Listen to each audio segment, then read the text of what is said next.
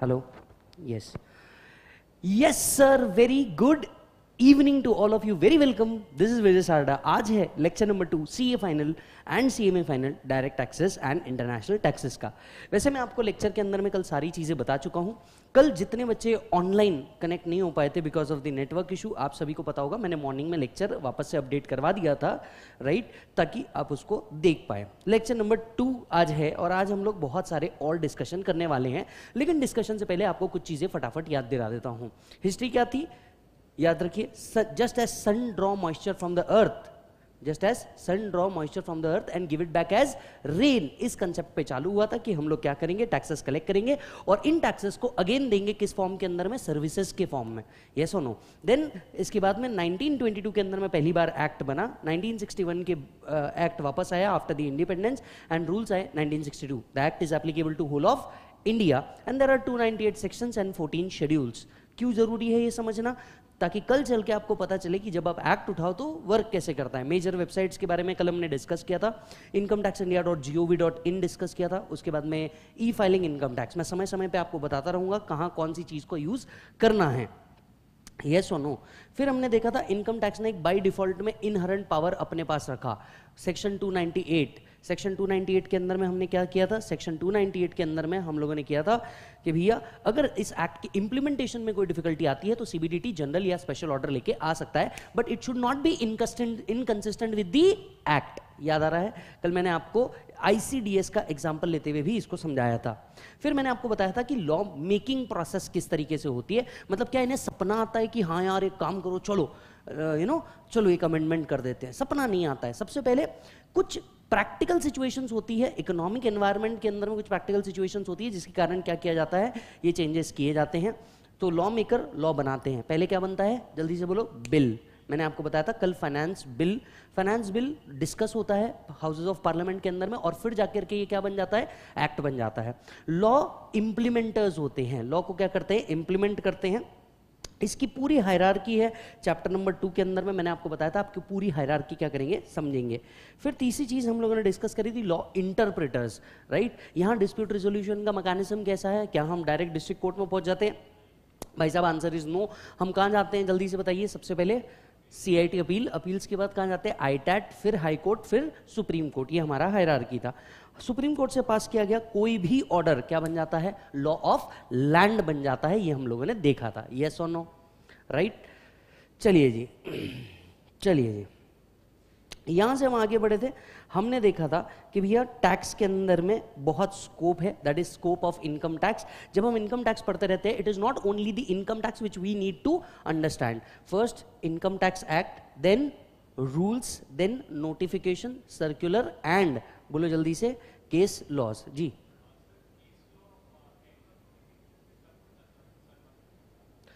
Case laws क्या sir को surpass कर सकता है क्या? It is the question see understand case law और नोटिफिकेशन इन दोनों अलग अलग पॉइंट पे आते हैं। Point number one point number two क्या होता है? केस लॉ क्या एक्ट को सरपास कर सकता है क्या? Answer is yes case law को ओवरराइड किया जा सकता है मतलब एक्ट को ओवरराइड किया जा सकता है थ्रू केस लॉ इसके विपरीत भी एक और सिचुएशन है, इसके विपरीत भी एक और सिचुएशन है. केस लॉ को भी ओवरराइड किया जा सकता है by bringing a retrospective amendment in law case law को भी ओवरराइड किया जा सकता है by bringing retrospective amendment in law point number one जब भी कोई केस लॉ आता है एक्ट में क्लैरिटी ना होने के कारण आता है, इसलिए ये ओवरराइड कर देता है। कई बार ऐसा भी होता है जहाँ इनकम टैक्स डिपार्टमेंट हार जाता है, वहाँ रेट्रोस्पेक्टिव अमेंडमेंट इन लॉ ला करके क्या किया जाता है, इस केस लॉ को ओवरराइड किया जा सकता है। तो चलिए, आगे बढ़ते हैं मालिक। अब आते हैं हम लोगों ने ये भी देखा था कि टैक्स में सिर्फ़ टैक्स नहीं कलेक्ट किया जाता क्या क्या कलेक्ट किया जाता है, तीन चीज़ें कलेक्ट होती है tax surcharge and cess cess specific purpose के लिए यूज़ होता है कंसोलिडेटेड फंड ऑफ़ इंडिया का पार्ट रहेगा। दूसरी चीज़ सरचार्ज जो होती है, ये क्या होती है मालिक? एडिशनल लेवी होती है। It is also part of consolidated fund of India याद होगा तो सरचार्ज क्या स्टेट्स में डिस्ट्रीब्यूट किया जाता है? Answer is no it is only kept by union but can be used for any purpose tax किसी भी पर्पज के लिए यूज़ किया जाता है बट सेंटर और स्टेट में डिवाइड होता है। उस मैनर में, जिस मैनर में प्रेसिडेंट चाहते हैं। ये सुनो मालिक? फिर हमने टाइप ऑफ़ टैक्सेस पढ़े थे, जो बचपन से हम लोग जानते हैं। Direct tax indirect tax indirect taxes collected from another person and paid to government direct taxes own responsibility yes चलिए जी। यहाँ से हम लोग अब आगे बढ़ते हैं। पहली चीज़ जो हम लोग को देखनी है हाँ एक और डिस्कशन बाकी है, एक और डिस्कशन बाकी है। जल्दी से बताओ बजट कोई भी अमेंडमेंट जो आते हैं, वो अमेंडमेंट्स कहाँ इंट्रोड्यूस किए जाते हैं? बिल में इंट्रोड्यूस किया जाता है और बजट में पेश किया जाता है। कितने प्रकार के बजट होते हैं? दो तरीके के बजट होते हैं। जल्दी बताओ, कौन से दो बजट होते हैं? Interim budget and final budget final budget हर साल आता है। इंटरम बजट जो होता है, इसे in the year of election issue किया जाता है। Yes yes. अच्छा जी, कब से एप्लीकेबल होता है? From first April after the budget implement होता है. बट सिंस हम पूरा इनकम टैक्स कौन सी लैंग्वेज में लिखते हैं? असेसमेंट ईयर की लैंग्वेज में लिखते हैं. इसका applicability actually further assessment year के अंदर में आता है. चलो मालिक, यहाँ से आगे बढ़ते हैं. यहाँ से आगे बढ़ते हैं और देखते हैं constitutional validity of income tax act देखिए, अब भारत में जब भी कोई एक्ट पढ़ते हैं whenever you read any act in India it must be constitutionally valid the mother of every law in India is constitution so we need to understand the content of income tax. Now, you will ask me a question. Why we need to understand the constitutional validity? Understand कीजिए। मान के चलिए, ये अपना अक्षय है। एक दिन अक्षय घर पे आराम से सो रहा था। कपड़े वगैरह पहन के आराम से सो रहा था। इतने में घर का गेट बजा। इनकम टैक्स डिपार्टमेंट वाले इनकम टैक्स डिपार्टमेंट वाले आए। इनकम टैक्स डिपार्टमेंट वाले बोलते हैं, सर हमको अब क्या क्या करनी है? रेड वो अचानक से अंदर घुस गए। अचानक से अंदर घुसने के बाद उनने डायरेक्ट बेडरूम में कदम रखा और क्या देखा? वहाँ का नज़ारा बड़ा अद्भुत था। चद्दर बिखरी हुई थी और उसके नीचे गोल्ड बिस्किट्स रखे हुए थे। अब आप मुझे सोच करके बताइए। नहीं, आप जो सोच रहे थे वो मिलने नहीं वाला। लेकिन बाथरूम से कुछ आवाज़ आ रही थी। वो बाथरूम में गए। बाथरूम में जाकर के जब देखा पानी टपक रहा था, लेकिन उसके बाजू एक अलमारी पड़ी थी। अलमारी खोल करके देखा तो काफ़ी सारी बेनामी प्रॉपर्टी थी जो रखी हुई थी। मुझे एक बात बताइए, अक्षय एक सवाल ज़रूर पूछेगा यहाँ पे। कौन सा सवाल पूछेगा कि भैया तुम्हें मेरे घर में एंटर करने का राइट दिया किसने? दूसरी बात एक बिजनेसमैन भी तो एक सवाल पूछेगा, आप सोच करके देखिए।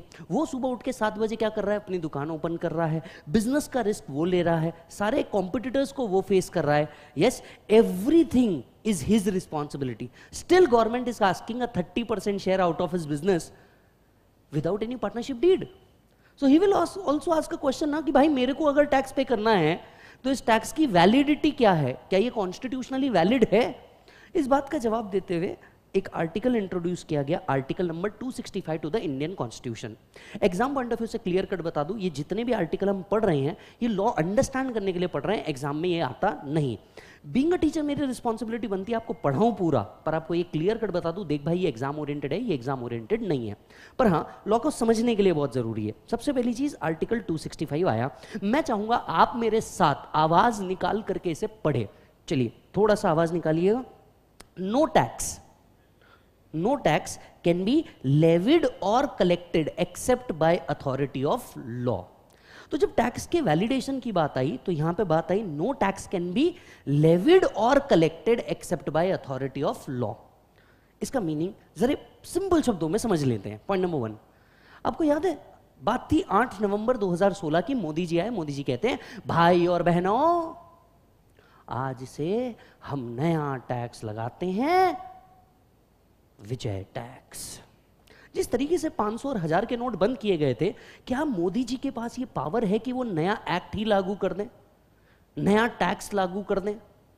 Well the answer is no why उन्हें आर्टिकल 265 होता है। आर्टिकल 265 को इंटरप्रीट करते हैं, बड़ा मज़ा आएगा चेक कीजिएगा। नो टैक्स किसी भी प्रकार का टैक्स ना लेवी कर पाओगे, ना कलेक्ट कर पाओगे। किसी भी प्रकार का टैक्स भारत में ना लेवी कर पाओगे, ना कलेक्ट कर पाओगे एक्सेप्ट जब तक कि कोई अथॉरिटी ना हो और उस अथॉरिटी ने कोई लॉ ना बनाया हो। वापस से समझिएगा। No tax can be levied और collected except by authority of law तो भारत में किसी भी प्रकार का टैक्स नहीं लगा पाओगे। ना ना ना, भारत में किसी भी प्रकार का टैक्स नहीं लगा पाओगे। जब तक के क्या ना हो, कोई अथॉरिटी ना हो और ये अथॉरिटी ने कोई लॉ पास ना कर दिया हो।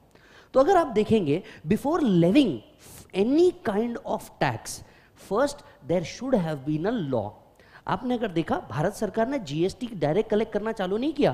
First 2017 they had to bringing in law a GST act तो वो क्या डायरेक्टली कलेक्ट करना चालू कर सकते थे? Well the answer is no so there must be law before levy और कलेक्शन ऑफ़ टैक्स दूसरा there must be authority who has pass this law एक अथॉरिटी होनी चाहिए जो इस लॉ को क्या कर रही है? पास कर रही है। अब आप चलते हैं, और डीप में चलते हैं, और अंदर चलते हैं। Who is the authority to pass the law आप कहेंगे, sir, Rajya Sabha is the authority Rajya Sabha तो अकेले नहीं कर सकती क्योंकि हमारा पार्लियामेंट का स्ट्रक्चर ही राज्यसभा और राज्यसभा को मिला करके बनता है।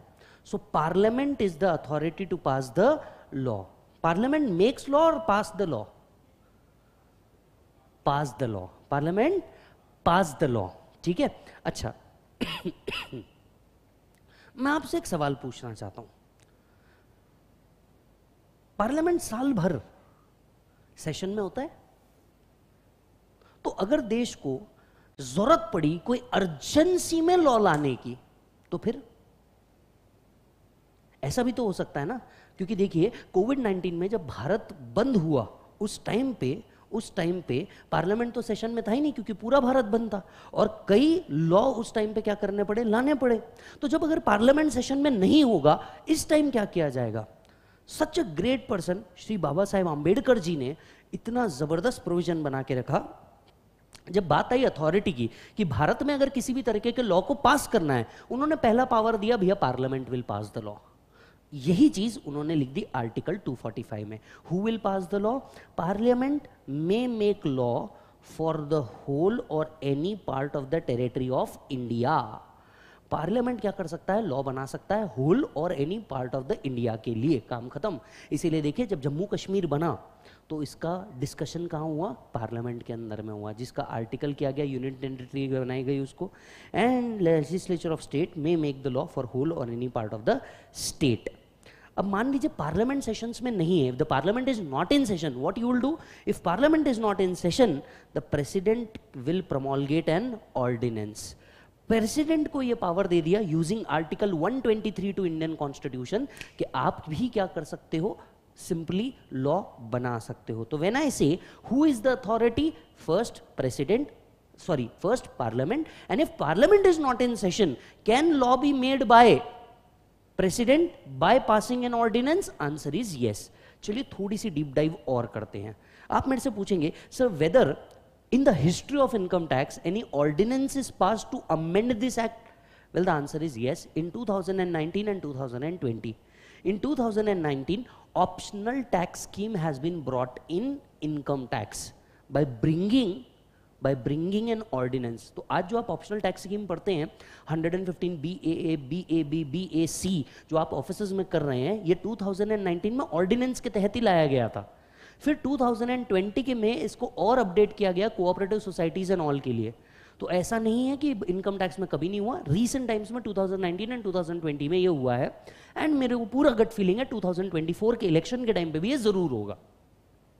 So for any law parliament may make it or president may pass an ordinance कुछ और डीप डाइव सर ये ऑर्डिनेंस जो पास किया जाता है प्रेसिडेंट द्वारा क्या इसे लॉ माना जाता है?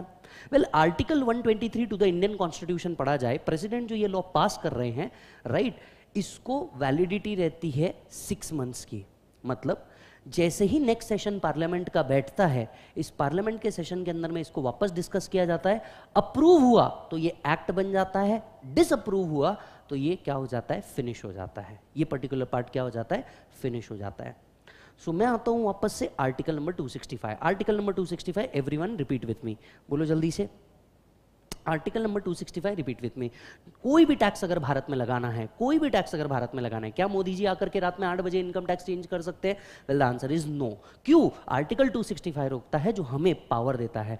No taxes can be levied और कलेक्टेड ना लेवी किया जा सकता है, ना कलेक्ट किया जा सकता है except by authority of law law होना चाहिए। ये लॉ किसके द्वारा पास होना चाहिए? किसी अथॉरिटी के द्वारा पास होना चाहिए। दूसरी बात लेवी एंड कलेक्टेड यहाँ पे दो अलग अलग वर्ड दिए गए हैं। लेवी मतलब लगाना इंपोज करना। यस yes, और दूसरा है कलेक्शन इस कलेक्शन वर्ड को सुप्रीम कोर्ट में क्या किया गया है? ऑलरेडी चैलेंज भी किया गया है। जब हम लिखते हैं कलेक्शन वर्ड इसका मतलब क्या होता है? प्यार पूर्वक प्रेम पूर्वक डिमांड नोटिस सेंड करो डिमांड नोटिस सेंड करके कलेक्ट करो। अब इनकम टैक्स पहुँच गया क्या करने के लिए? रिकवर करने के लिए एसेट सेल करने लगा। मैटर सुप्रीम कोर्ट में गया, मैटर कहाँ पहुँचा? सुप्रीम कोर्ट में पहुँचा और बोला कि भैया कलेक्शन तो पावर ही नहीं है। तब उन्होंने कहा the word collection also include word recovery इसीलिए आज जब किसी के घर पे रेड पड़ेगी सर्च एंड सीजर होगा, क्या होगा? सर्च एंड सीजर होगा recovery is also within the power of income tax so no tax can be levied or collected except by authority has pass the law when it comes to tax, we are talking about both tax, direct tax and indirect tax. इसी के लिए जब आप GST पढ़ते रहेंगे GST के अंदर में भी आप कॉन्स्टिट्यूशनल वैलिडिटी में आर्टिकल नंबर 265 ही पढ़ेंगे। आर्टिकल नंबर 265 ही पढ़ेंगे। I you getting the point चलिए रजिस्टर में जाइए। जैसे कि मैंने कहा रजिस्टर में हमें सब कुछ नहीं लिखना। जितनी काम की चीज़ है, उतनी चीज़ हम ज़रूर लिखेंगे। Constitutional validity of income tax article number 265 एक और बात मैं आप सभी को बता दूँ, बहुत सारे बच्चे मुझे बोलते हैं कि, सर, आपने जो ये लिखा है प्लीज़ इसी को हमें यू नो पीडीएफ के अंदर में प्रोवाइड कर दीजिए. मैं आपको है ना बहुत क्लियरली एक बात बताना चाहता हूँ। प्लीज़ लिखो। इसके दो रीज़न है। डायरेक्ट टैक्स में ना आपको लिखना है और आपकी तीन साल से ना मालिक लिखने की आदत खत्म हो गई है। समझ में आ रही बात तीन साल से लिखने की आदत खत्म हो गई टाइपिंग की आदत है। प्रॉब्लम ये होता है बच्चा जब सीए फाइनल में फिर पेपर देता है ना उसका पेपर कंप्लीट होता ही नहीं। Even though he has hundred percent knowledge of the subject वो पेपर कंप्लीट ही नहीं कर पाता क्योंकि लिखने की आदत खत्म हो गई। तो मैं आप सभी मेरे प्यारे दोस्तों से रिक्वेस्ट करना चाहूँगा प्लीज़ राइट यस yes, एक हैबिट वापस डेवलप करो तीन साल से तुम्हारी राइटिंग की हैबिट खत्म हो चुकी है। मतलब इनफैक्ट तुमको लिखते लिखते ना हाथ दुख जाने चाहिए इतनी प्रैक्टिस करनी है हमको। Article number 265 no taxes can be levied or collected levied or collected except by authority of law so authority और अंडरस्टैंड कीजिए आप सीए फाइनल में हैं। एक प्रैक्टिस और चालू कीजिए। मल्टी कलर पेन रखिए। इसका फ़ायदा, और मेरे ही सब्जेक्ट में नहीं मालिक, हर सब्जेक्ट में रखो। इसका फ़ायदा ये है रंग बिरंगी कलर से एटलीस्ट लाइफ में कुछ तो कलरफुल होगा तुम्हारे। जो आज बेजान सी हो गई है तुम्हारी ज़िंदगी, इसमें कुछ तो कलर आएँगे लाइफ में। थोड़े से मल्टी कलर रखो, अच्छे से नोट्स बनाओ, तुमको खुद को पढ़ने की इच्छा होगी। नहीं तो जीवन के अंदर में करते क्या हो तुम? जब से तुमने डॉक्यूमेंटेशन पढ़ा है ऑडिट के अंदर में सैम्पलिंग कर करके इसको भी सैम्पलिंग कर दोगे लाइफ में। अथॉरिटी बोलो जल्दी से, कौन हो सकता है? प्रेसिडेंट और, बोलो जल्दी से पार्लियामेंट। या पार्लियामेंट और प्रेसिडेंट भी लिखा, एक ही बात है। अगेन मैं आपको बोल चुका हूँ, ये हमें कंटेंट समझने के लिए है कॉन्टेक्स्ट समझने के लिए है। एग्ज़ाम में इसका पूछा जाना मुश्किल ही नहीं, नामुमकिन है। जब हम बात कर रहे हैं टैक्सेस की, हम दोनों तरीके की बात कर रहे हैं D as well as I की। D as well as I की। जब हम लेवी कलेक्शन की बात कर रहे हैं, हम दो बात कर रहे हैं कलेक्शन एंड रिकवरी हम अगेन दो बात कर रहे हैं collection and recovery so no taxes can be levied or collected except by authority of law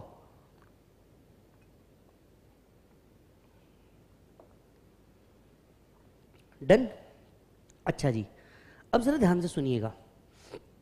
जरा ध्यान से सुनिएगा। Once you have received the assent yes act is created now there has to be a distribution of power there has to be a distribution of power एक मन में यहाँ से सवाल उठना चाहिए कि टैक्सेस लगाने का पावर तो हमें पता चल गया। But who will actually impose it is it the central government who will impose it is it the state government who will impose it or is it combinedly by state and central government who will impose it don't you think so ये सवाल आएगा।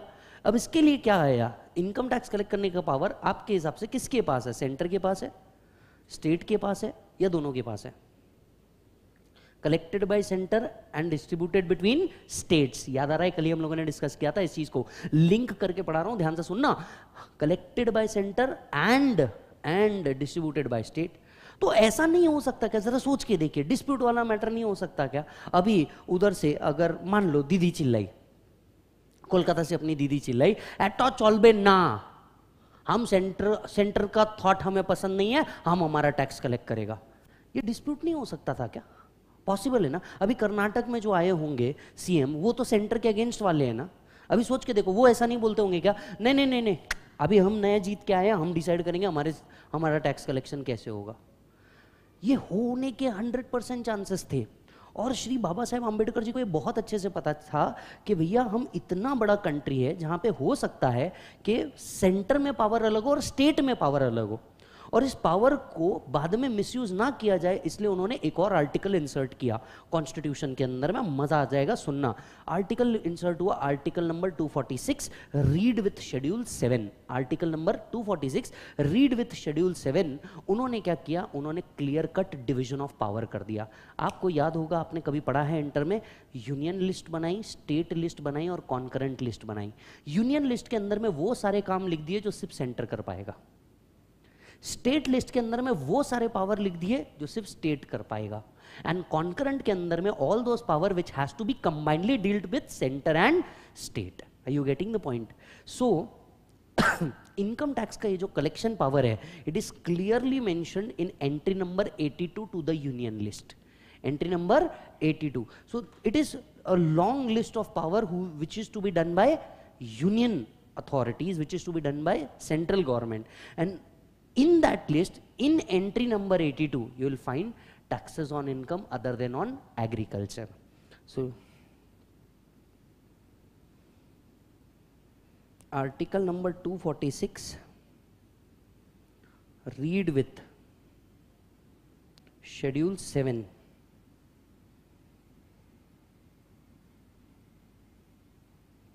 Union government in its entry number 82 covers the power of collection of income tax.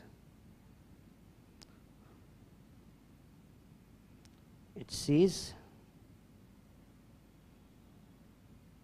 entry number 82 power to collect taxes on income other than on agriculture. It says power to collect the taxes on income other than on agriculture.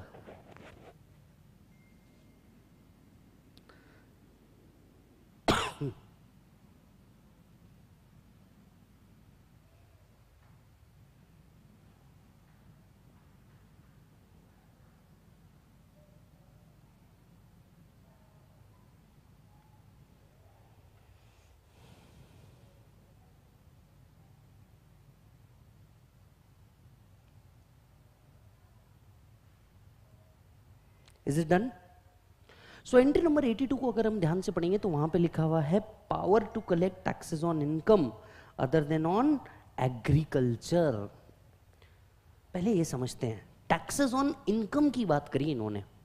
Taxes on income बताइए sources of income कितने हैं? बोलो बोलो, जल्दी बोलो। Sources of income कितने हैं? Unlimited absolutely correct answer heads of income कितने हैं? पाँच। याद है, जब आप एफआर पढ़ते हैं, तब आपको कभी भी इनकम के टाइप्स नहीं बताए जाते। पर जब आप डीटी पढ़ते हैं, तब आपको बताया जाता है that sources of income are बोलो जल्दी से unlimited but these has to be classified in five heads in पाँचों हेड में कौन सी इनकम कहाँ क्लासिफाई होना चाहिए, इसके लिए चार्जिंग सेक्शन आपको दिए हुए section upfrontly says what all are the income which is taxable in this particular head and if any income is not taxable in the first four head that is salary house property PGBP capital gains the residual income will be taxable under the head of other sources or no? But tell me other than on agriculture they have written, which means, क्या agriculture पे tax लगेगा ही नहीं? या interpretation ये है कि agriculture पे टैक्स कलेक्ट करने का पावर सेंटर के पास नहीं है। क्या लगता है what is the correct interpretation everybody जितने लोग ऑनलाइन हैं, जल्दी से रिप्लाई करो, क्या एग्रीकल्चर पे टैक्स ही नहीं लगेगा? Is this the right interpretation of this law or there will be levy but not by central government what is your interpretation of this law? I want every one of you to have a interpretation इस पर interpretation बताओ मेरे को। This is entry number eighty two to the union list बराबर है? आप मुझे बताइए इस पर इंटरप्रिटेशन क्या है आपका? Will there be no tax on agriculture or there will be tax on agriculture but union does not have power to collect the tax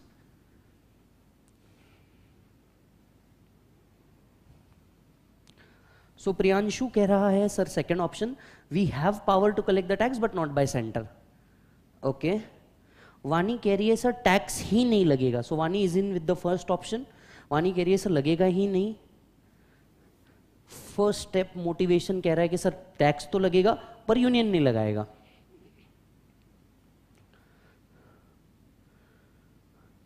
मेरा भाई एसएस कह रहा है, सर टैक्स ही नहीं लगने वाला. Okay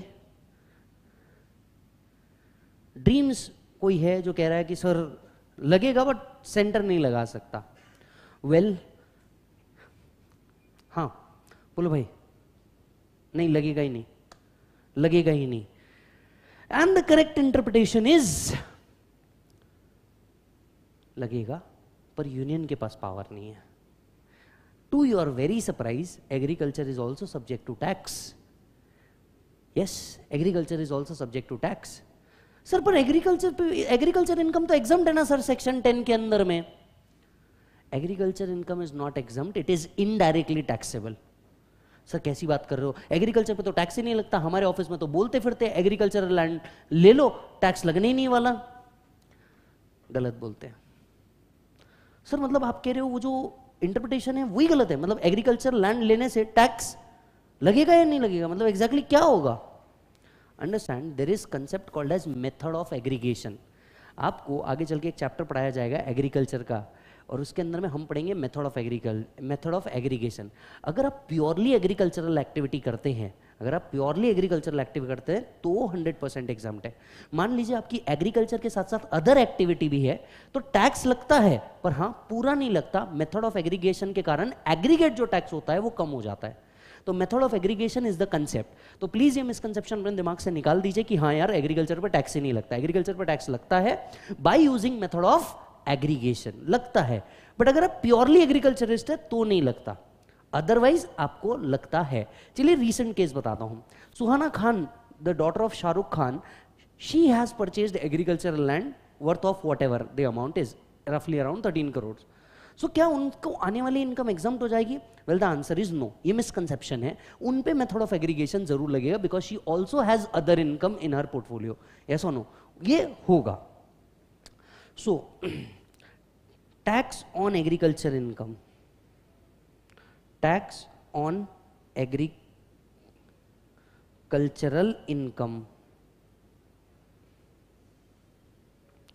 power is in article number 46 to the entry number 46 not article entry number 46 to the state list so entry number 46 आपसे कहती है taxes on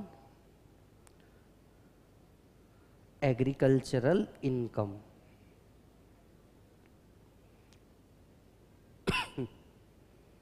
taxes on agricultural income. So right interpretation is whether you have power to collect the tax when it comes to center answer is no. When it comes to state answer is yes. What is the overall interpretation? क्या agriculture पर tax collect किया जा सकता है? Yes collect किया जा सकता है. But only when the state approve it. Who will collect? Center only. It is only the center who will collect it. But when it is approved by state. so, sir क्या Indian history में कभी ऐसा हुआ है कि agriculture पे भी किसी स्टेट ने टैक्स लिया है yes. Yes Gujarat, Maharashtra and Karnataka, ये वो स्टेट रहे हैं जिन्होंने कभी एग्रीकल्चरल इनकम पे भी टैक्स लिया है but over the period of time vote bank other राजनीति के तहत आज उसके बाद कभी एग्रीकल्चर पर टैक्स कलेक्ट नहीं किया गया। पर ऐसा नहीं है कि फ्यूचर में कभी हो नहीं सकता ये vote bank and marginal income के तहत एग्ज़ाम किया गया है। शायद किसी दिन ये क्या कर दे, वापस ला दे। दूसरी बात, अगर आप प्योर एग्रीकल्चर में हैं if you are pure agriculture is then and only then your income is exam under section ten one if you are also earning any other income by using method of aggregation taxes collected so it is not directly expose to tax but yes it is indirectly expose to tax हम एक chapter में जाएँगे agriculture income में, उसके अंदर हम इसको calculate करना भी सीखेंगे कि किस तरीके से अदर इनकम के साथ मिला करके इस पर क्या निकाला जाता है टैक्स निकाला जाता है। I you getting the point चलिए जी, बहुत बढ़िया। स्टार्ट करते हैं वापस। कहाँ हैं हम?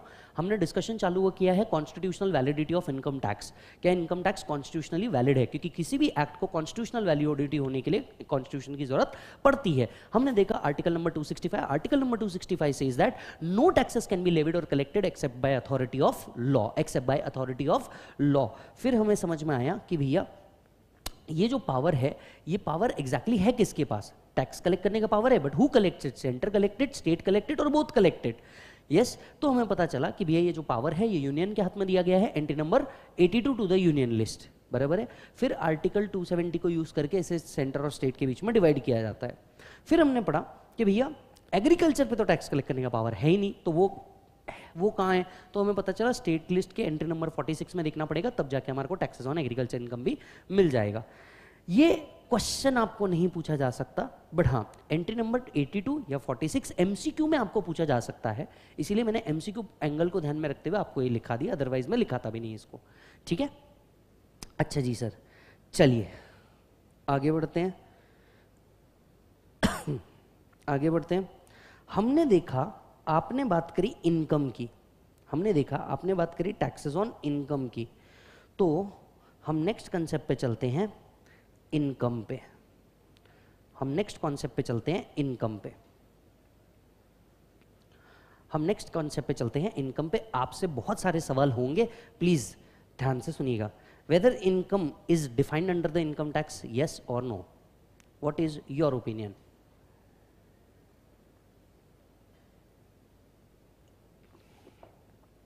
क्या इनकम डिफाइंड है? हाँ या ना? जल्दी जल्दी बोलो। हाँ या हाँ?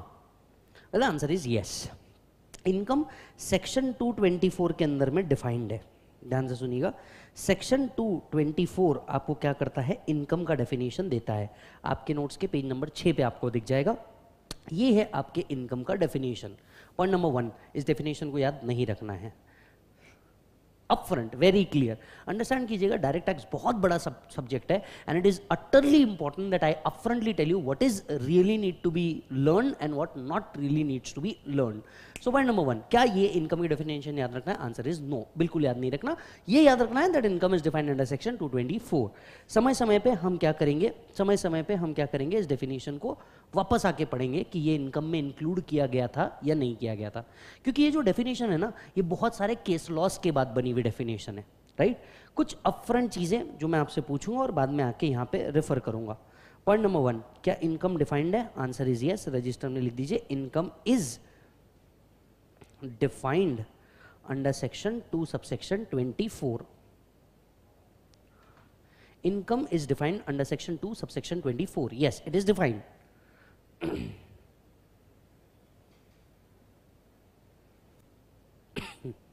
चलिए दूसरा सवाल आप सभी लोगों से दूसरा सवाल आप सभी लोगों से कर रहा हूँ assume there is one company who has only one transaction in a year, will it be constituted as income? Yes or yes? Only one transaction in a year. क्या ये इनकम मानी जाएगी यस आंसर इज़ यस बिल्कुल मानी जाएगी it is irrelevant कि आप उसका रेगुलरिटी कितना है मैं आपको इसका प्रैक्टिकल और अच्छा एग्ज़ाम्पल भी देता हूँ। मान लीजिए अगर कोई शिप बनाने वाली कंपनी है यॉट बनाने वाली कंपनी है या एयरलाइंस बनाने वाली कंपनी है, ये डेरी मिल्क सेल नहीं कर रहे हैं। They will have only one और टू और three orders in the whole year ये सो नो दूसरी बात, मान लीजिए कोई रिटायर्ड पर्सन है। रिटायर्ड पर्सन है right they have let's see a property there is no other income there is no other income they can have only one capital gain transaction for sale of property in a year. So it is not about the regularity of income. It is about is it an income or not an income. So income may be regular or irregular. Income can be regular. Sir, what is regular income? Let's say salary, monthly rent, income out of business. These are regular income. Or irregular. ये regular भी हो सकती है irregular भी हो सकती है कोई तकलीफ़ नहीं है yes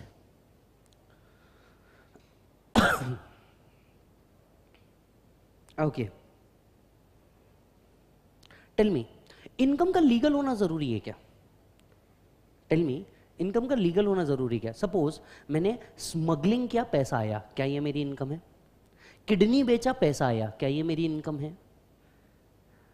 मैंने बेचा इनकम आया, क्या ये मेरी इनकम है? देख my question is very simple powder बेच के इनकम आओ या पाउडर बेच के इनकम आओ? Is it considered under income tax yes or no yes so income tax has nothing to do with legality और illegality correct answer is absolutely correct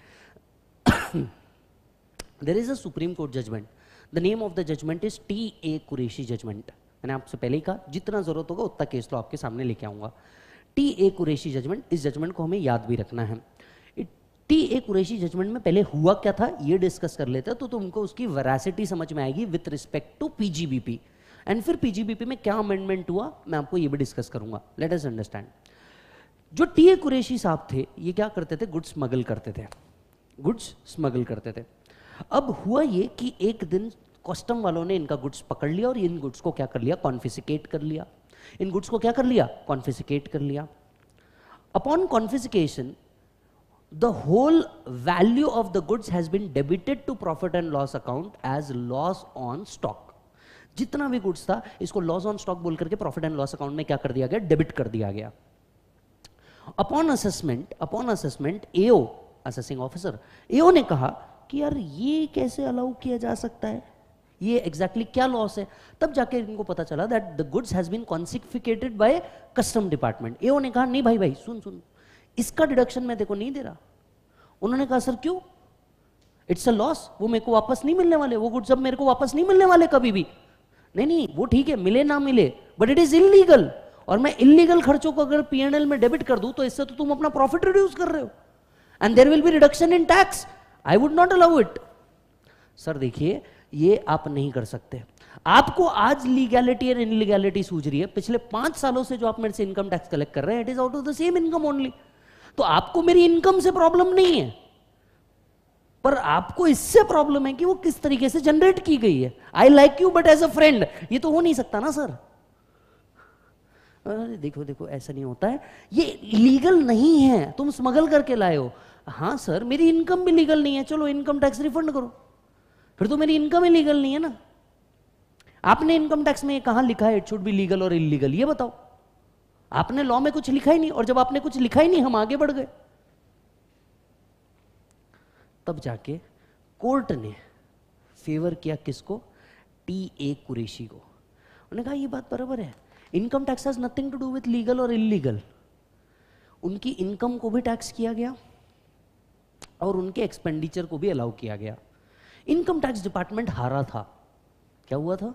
income tax department हारा था। और income tax कैसे हार सकता है ना? तब जाके section 37 of the income tax PGBP में अमेंडमेंट किया गया that no expenditure will be allowed if it is for any breach of law कि अगर ये ब्रीच ऑफ़ लॉ के कारण क्या हो रहा है? कोई भी यू नो एक्सपेंडिचर क्लेम किया जा रहा है किसी ब्रीच ऑफ़ लॉ करके तो ये अलाउ नहीं किया जाएगा। तो इनकम टैक्स ने इतना ज़बरदस्त खेम खेला, एक तरफ़ तो इनकम इलीगल से आने वाली को इनकम मान लिया और एक केस हारने पे इनने क्या कर दिया लॉ को ही अमेंड कर दिया। अब इलीगल इनकम तो टैक्स हो गई, लेकिन इस इलीगल इनकम से रिलेटेड एक्सपेंडिचर क्या हो गए? Disallow while computing PGBP not retrospective but prospective that time that time prospective इसके बाद इसके बाद क्या हुआ? कई केसेस आए जिनमें सिमिलर जजमेंट्स आया। एक केस आपके साथ डिस्कस करता हूँ। अल्का टॉकीज का एक केस है, वो आपके साथ डिस्कस करता हूँ। केस में क्या हुआ?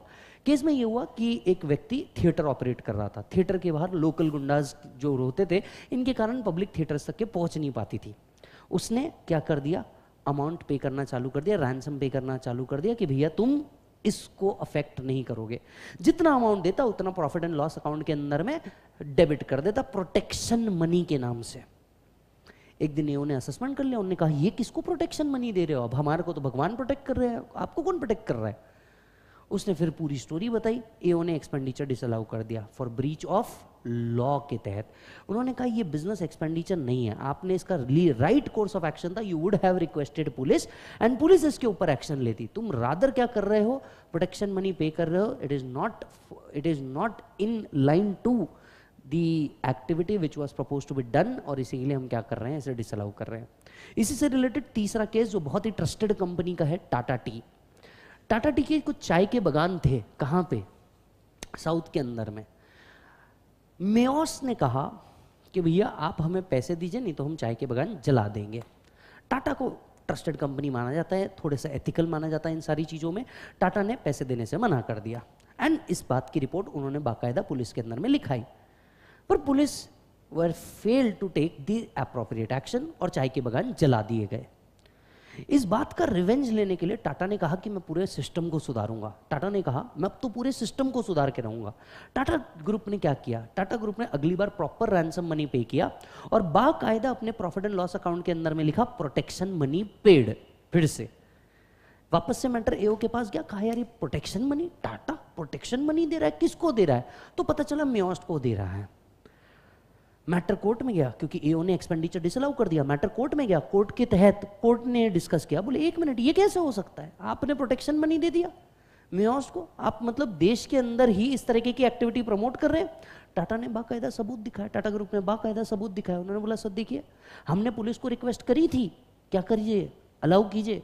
हमने रिक्वेस्ट भी करी थी इस चीज़ के लिए बट हमें जब प्रोटेक्शन नहीं मिला to safeguard the business we have made the payment to safeguard the business we have made the payment and it's a business expenditure तब भी उस लॉ को सहारा देते हुए डिसअलाउ किया गया और कहा गया if it is for a breach of law if it is for a breach of law और illegal payment it will not be allowed समझ में आई बात? तो इनकम टैक्स ने इतनी समझदारी दिखाई कि एक तरफ़ इलीगल इनकम को तो इनकम मान लिया लेकिन केस लॉस के तहत अपने लॉ को अमेंड करके क्या कर दिया इन्होंने? उससे रिलेटेड एक्सपेंडिचर डिसअलाउ कर दिए। तो आप ब्राइब पे कर रहे हैं ब्राइब पे कर रहे हैं प्रोटेक्शन मनी पे कर रहे हैं, या इस तरीके का कोई भी पेमेंट कर रहे हैं जो ब्रीच ऑफ़ लॉ है। फॉर एग्ज़ाम्पल मान लीजिए, आपका ट्रांसपोर्ट का बिज़नेस है, आपका ट्रांसपोर्ट आपने ज़रूर क्लाइंट हैंडल किए होंगे। ट्रांसपोर्ट का बिज़नेस होता है, चलान फटता है। ये चलान की रिसीट को आपको एंट्री करनी ही पड़ती, क्योंकि आजकल तो ऑनलाइन चलान आ गए। क्या पीजीबीपी कंप्यूट करते वक्त इसे अलाउ किया जाएगा या डिसअलाउ किया जाएगा? Disallow because of it will be breach of law समझ में आ रही है बात? So income tax is levied on legal as well as illegal income. TA Qureshi supreme court judgement.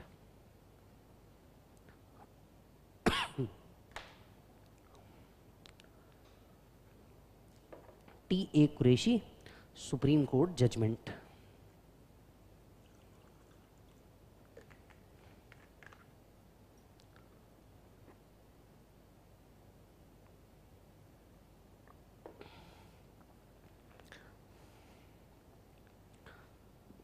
अच्छा जी, कुछ छोटी बातें जो आपको ऑलरेडी पता है। Heads of income heads of income बताइए, कितने हैं मालिक? पाँच। Sources of income are unlimited पैसा कैसे भी कमाया जा सकता है। हेड्स कितने हैं? पाँच। सबसे पहला हेड कौन सा है? Salary house property profit and gains from business and profession capital gain और कुछ नहीं बचा धरती पे तो IFOS.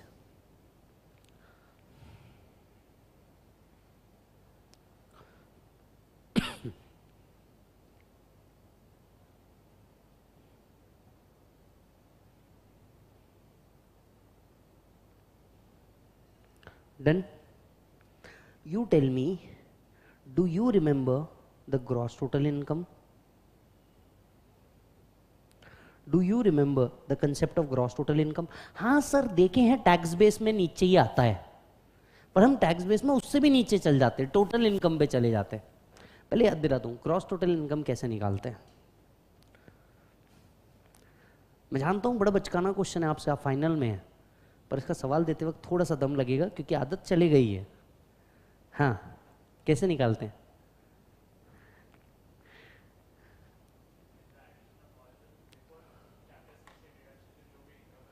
perfect.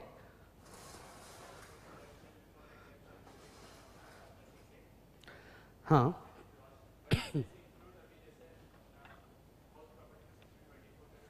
mm-hmm. Net income from all the heads before deductions under chapter 6a. So it is after clubbing.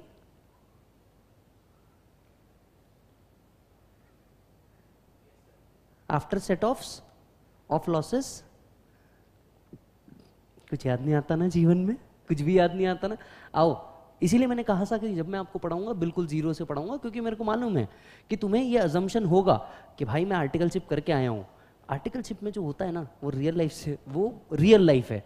और ये book है, जिसको आपको सॉल्व करना है। और ये डिफरेंस है। आओ इधर। हाँ जी। इसलिए कई बच्चे मुझे कहते हैं कि यार, मेरे को टैक्स करने की क्या, मैं तो तीन साल टैक्स में काम किया हूँ। तीन साल टैक्स में काम करना और इसको पेपर में लिखना दो अलग अलग चीज़ें हैं। आ जाओ जल्दी से। सबसे पहले क्या होगा, सर? आपको income of all five head आएगा। Income of all five heads आप यहाँ पे सीधा सीधा नेट इनकम या टैक्सेबल इनकम वर्ड को यूज़ कर सकते हैं। Taxable income of all five heads पाँचों हेड की। हर हेड की इनकम मींस आफ्टर डिडक्शन बराबर है? इसमें क्या ऐड करेंगे? क्लबिंग ऑफ़ इनकम इसमें क्या ऐड करेंगे? क्लबिंग ऑफ़ इनकम क्या लेस करेंगे? सेट ऑफ़ ऑफ़ लॉसेस तब जाके जो बैलेंस आएगा, इसे हम कहेंगे ग्रॉस टोटल इनकम और ये डेफिनेशन आपकी सेक्शन 80 बी में लिखी है. ये डेफिनेशन आपकी सेक्शन 80 बी में लिखी है that all the income before the deduction under chapter 6 A all income before the deduction under chapter 6a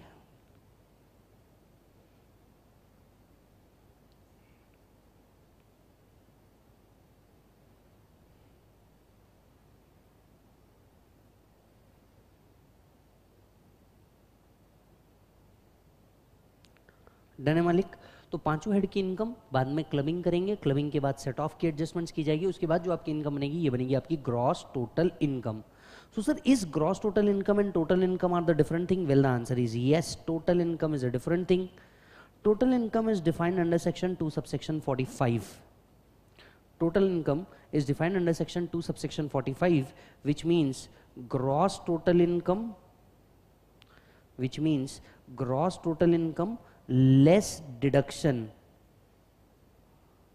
under chapter 6a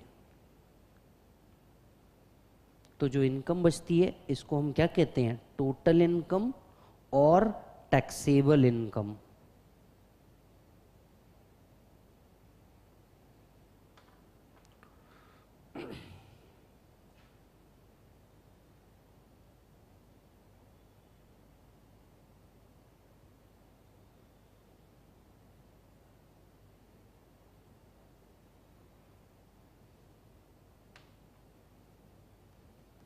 done है जी?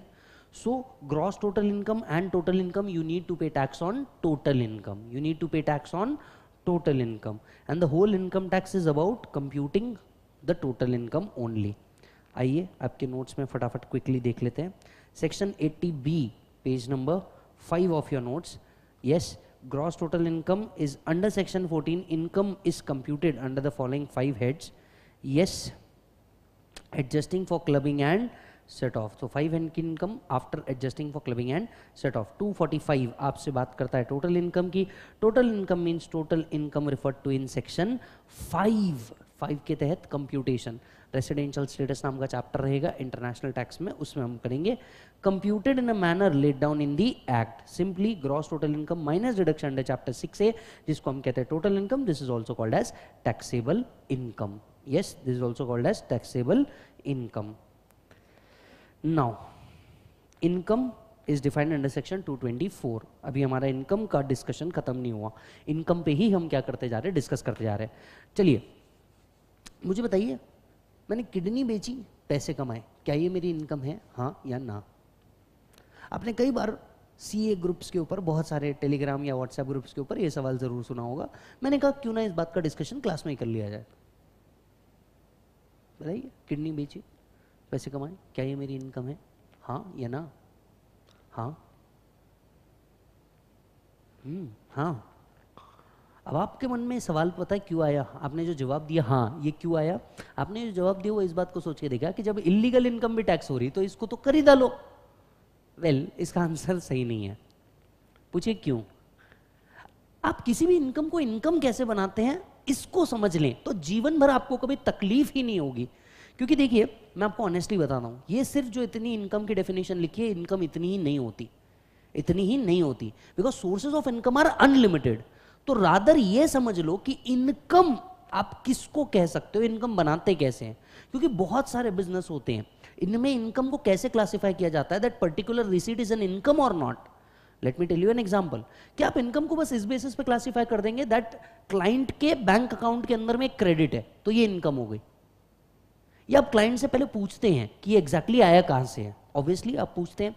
अब क्लाइंट के बैंक अकाउंट को जरा हम ऑडिट करते हैं। लेट अस अज्यूम क्लाइंट के बैंक अकाउंट को हम ऑडिट करते हैं। Let's get into a bank account ठीक है? बैंक अकाउंट के अंदर में आपको डेबिट्स एंड क्रेडिट्स दिखता है। Obviously the credits in the accounts are deposits बराबर है? और इसी पे हमको फोकस करना है। तो लेट से एक रुपए आया आपको रिलायंस से। रिलायंस ने डिविडेंड दिया। सवाल पहला, बताइए इस dividend and income yes because it's a capital appreciation so dividend is an income फिर क्वार्टरली इंटरेस्ट आया let say one thirty rupees is it an income yes because ये इन्वेस्टमेंट से आने वाली इनकम है इस बात को क्लैरिफाई कर दिया गया इस बात को क्लैरिफाई कर दिया गया चेक करिए इस बात को क्लैरिफाई कर दिया गया कि भैया अगर आपके डिविडेंड्स आते हैं अगर आपके डिविडेंड्स आते हैं या आपके इन्वेस्टमेंट से कोई इनकम आती है तो हम उसको क्या मानते हैं? इनकम मानते हैं। तो ये आपके जनरली कहाँ टैक्सेबल हो जाते हैं? आईएफओएस में टैक्सेबल हो जाते हैं। आपकी आने वाली डिविडेंट इनकम या फिर आपने कोई इंटरेस्ट इनकम अर्न करी है तो वो भी हम क्या करते हैं? इसमें कवर कर लेते हैं। बताइए। बताइए। आपके पापा के अकाउंट से फाइव थाउज़ेंड रुपीज़ आपके बैंक अकाउंट में आए। जिसको तुम डेफिनेटली वापस तो करने नहीं वाले। बताइए। क्या इसे गिफ्ट माना जा सकता है? Is gift an income depends किससे मिला है? कहाँ पढ़ना पड़ेगा? I F O S but primary question is is gift an income will the answer is yes is it taxable और not taxable that's a second question so is gift an income the answer is yes it is only the money which can be received as gift or the product other than money can also be considered as gift other than money is also considered as gift so we really need to classify क्या gift में आएगा क्या gift में नहीं आएगा इसका separate provision IFOS में हम लोग ज़रूर पढ़ेंगे बट हाँ primarily gift is an income so dividend is an income interest is an income gift is also an income right suppose कर लीजिए गवर्नमेंट कंपनसेशन ऑन लैंड मेरा एक लैंड था जिसको गवर्नमेंट ने कंपल्सरीली एक्वायर कर लिया। बराबर है? इसका कंपनसेशन आया पाँच लाख रुपए। Is it an income yes answer is yes याद होगा तो इंटर में हमने कैपिटल गेन में पढ़ा है that compulsory acquisition by government is considered as income आइए इनकम के डेफिनेशन में। ये छोटे छोटे एग्जाम्पल्स आपको बहुत अच्छे से याद रहेंगे। ये देखिए। ये देखिएगा। गिफ्ट जो है सेक्शन 56 में इसे इनकम माना गया है प्राइमरी तौर पे। इसके बाद में आपको जो कंपलसरी एक्विजिशन मिलता है, आपको जो कंपलसरी एक्विजिशन मिलता है अगेंस्ट द प्रॉपर्टी देखिए यहाँ पे भी एक गिफ्ट कवर किया गया है, जो कंपलसरी एक्विजिशन मिलता है, इसे भी क्या माना जाता है? इनकम ही माना जाता है। अच्छा जी सर। सर, मुझे एक और बात बताइए, मुझे एक और बात बताइए। मुझे रमी सर्कल एक लाख रुपए का प्राइज जीता। ड्रीम इलेवन एक लाख रुपए का प्राइज जीता। कौन बनेगा करोड़पति? Bigg Boss. ऐसे किसी भी गेम्स में मुझे एक लाख रुपए का प्राइज मिला। Is it an income yes winning is also considered as income winning is also considered as income is it an income आपने उसको क्यों इनकम नहीं माना? सर क्योंकि वो लोन है। मतलब आपने कोई तो क्राइटेरिया लगाया इसके पीछे? Just because it is credited to your bank account does not mean an income that needs to be classified yes it's a receipt but every receipt is not an income understand kijega the concept of capital and revenue receipt the concept of capital receipt and revenue receipt अगर मैं बात करूँ capital receipt की a receipt in the nature of loan किसी भी प्रकार का loan ये आपकी कैपिटल रिसीट्स के अंदर में आता है। Income means a receipt but every receipt is not an income चलो, दिमाग में सेट करो जल्दी से। Income means a receipt but every receipt is not an income so पहला क्या आता है मालिक? लोन पहला क्या आता है मालिक? लोन अगर आप कोई भी अमाउंट को लोन देखते हैं तो ये कभी भी आपकी क्या नहीं मानी जाती? इनकम नहीं मानी जाती. इसीलिए बैंक अकाउंट में तो आपको क्रेडिट है, पर क्लाइंट जब भी ये कह देता है, sir this amount needs to be paid back आप उसको फिर सिक्योर्ड लोन या अनसिक्योर्ड लोन के अंदर में क्लासीफाई करते हैं अकाउंटिंग करते वक्त याद करिए. दूसरा capital now don't think from the accounting point of view don't think from the accounting point of view but business में इंट्रोड्यूस किया गया कैपिटल भी क्रेडिट तो होगा बैंक अकाउंट के अंदर में। लेकिन इसे क्या माना जाएगा? कैपिटल रिसीट और इसके ऊपर क्या नहीं किया जा सकता? टैक्स नहीं लगाया जा सकता। तीसरा any kind of liability no doubt accounts बनाते वक्त लाइबिलिटी के ही दोनों ऊपर के पार्ट है। बट हम इसे अदर लाइबिलिटी कंसिडर कर रहे हैं। कोई भी अदर लाइबिलिटी है आपकी है मतलब मान लीजिए जिसको आपको क्या करना है? वापस देना है। पहले बोला था, गिफ्ट बोल के वापस दे, बाप बेटे में झगड़ा हो गया, बाप ने बोला, मेरे दिए हुए पैसे वापस कर। Earlier it was a gift और लेटर ऑन उसी साल में उसको वापस कर दिया। Since it is a liability इसको आप क्या नहीं मान सकते इनकम नहीं मान सकते। चौथा मोस्ट इंपॉर्टेंट पर्सनल इफेक्ट्स अगर ये पर्सनल इफेक्ट्स के अंदर में आ रहा है, अगर ये किसके अंदर में आ रहा है? पर्सनल इफेक्ट्स के अंदर में आ रहा है तो आप इस पे टैक्स कभी नहीं भरेंगे। पर्सनल इफेक्ट्स का मतलब समझिएगा जरा। पर्सनल इफेक्ट्स मतलब वो सारे items which is use for personal purpose which is use for personal purpose अगर ये प्रोडक्ट पर्सनल पर्पज के लिए यूज़ किए गए हैं और आप इसे सेल करते हैं तो इस पे आने वाली इनकम पे आप कभी टैक्स नहीं देते। Let me give an example मान लीजिए मेरे पास एक फ्रिज था, मैंने ओ में सेल कर दिया, पैसे आए। Is it liable to tax the answer is no why because it's a personal effect याद करिएगा, जब आपने इस एसेट को परचेस किया था, आपने इसे बिज़नेस की बैलेंस शीट में इंक्लूड किया था क्या? द आंसर इज़ नो इस पे डिप्रिसिएशन गेम किया था क्या? द आंसर इज़ नो ये पर्सनल इफेक्ट्स के अंदर में आ गया। और पर्सनल इफेक्ट्स के ऊपर क्या नहीं आता? टैक्स नहीं आता। आप अपने घर का रद्दी बेचते हो, आपने अपने घर का मटेरियल बेचा लेट से आपने अपने घर का मटेरियल बेचा, ये सब आ गए पर्सनल इफेक्ट्स के अंदर में। तो जो चीज़ें आप पर्सनल यूज़ के लिए यूज़ करते हैं पर्सनल यूज़ के लिए यूज़ करते हैं, इसके ऊपर क्या नहीं आता? इनकम टैक्स नहीं आता, इसे कैपिटल रिसीट माना जाता है। आपके घर में पड़ा हुआ एक पुराना स्कूटर आपके घर में पड़ा हुआ एक पुराना स्कूटर जिसको आपने क्या कर दिया? सेल कर दिया for taking a EV EV लेने के लिए आपने उसको सेल कर दिया। नॉट टेल मी जो पैसा आया, क्या मैं इसे receipt मानूँगा? Answer is yes bank account में पैसा आया। आपने गूगल पे से पैसा ले लिया, सामने वाले को बोला, ले बेटा स्कूटर लेके जा। अंडरस्टैंड इस पूरे ट्रांजेक्शन में क्रेडिट मिला, पर क्या आप इसे इनकम टैक्स में इनकम मान सकते हैं? Answer is no why it is a personal effect समझ में आ रही बात? अब इस लाइन को पढ़ते हुए मुझे जवाब दीजिए, किडनी बेची। Is it subject to tax answer is no personal effect क्या आ गया? पर्सनल इफ़ेक्ट बट क्या आप जानते हैं कैपिटल गेन पढ़ते वक्त पर्सनल इफेक्ट्स के कुछ एक्सेप्शन है? याद दिलाता हूँ। मान लीजिए मैंने गोल्ड बेचा। मैंने गोल्ड बेचा। Is it subject to tax capital gain tax gold बेचा पैसा उनने क्या किया? मेरे जीपे पे ट्रांसफ़र कर दिया। Is it subject to tax yes पर गोल्ड तो मैंने पर्सनल यूज़ के लिए यूज़ किया है। यस yes, कैसे हुआ? कैपिटल एसेट की definition section two subsection fourteen personal effect को एक्सक्लूड करता है कैपिटल एसेट से. और पर्सनल इफ़ेक्ट की भी कुछ एक्सेप्शन है. कुछ चीज़ें भले ही आप पर्सनल यूज़ के लिए यूज़ कर रहे हैं, पर क्या नहीं मानी जाएगी? क्या नहीं मानी जाएगी? पर्सनल एसेट्स नहीं मानी जाएगी and they will be subject to tax personal effect excludes ये लिखा है आपने? लिख दीजिए साथ साथ में. Concept of capital receipts and revenue receipts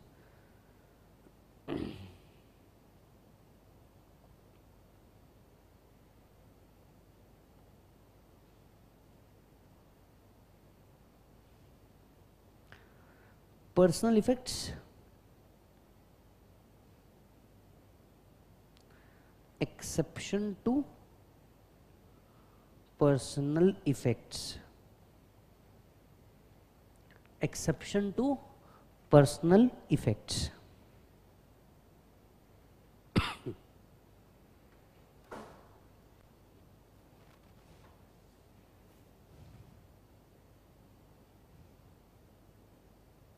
याद रखने का इसको सिंपल तरीका है जड़पास VDA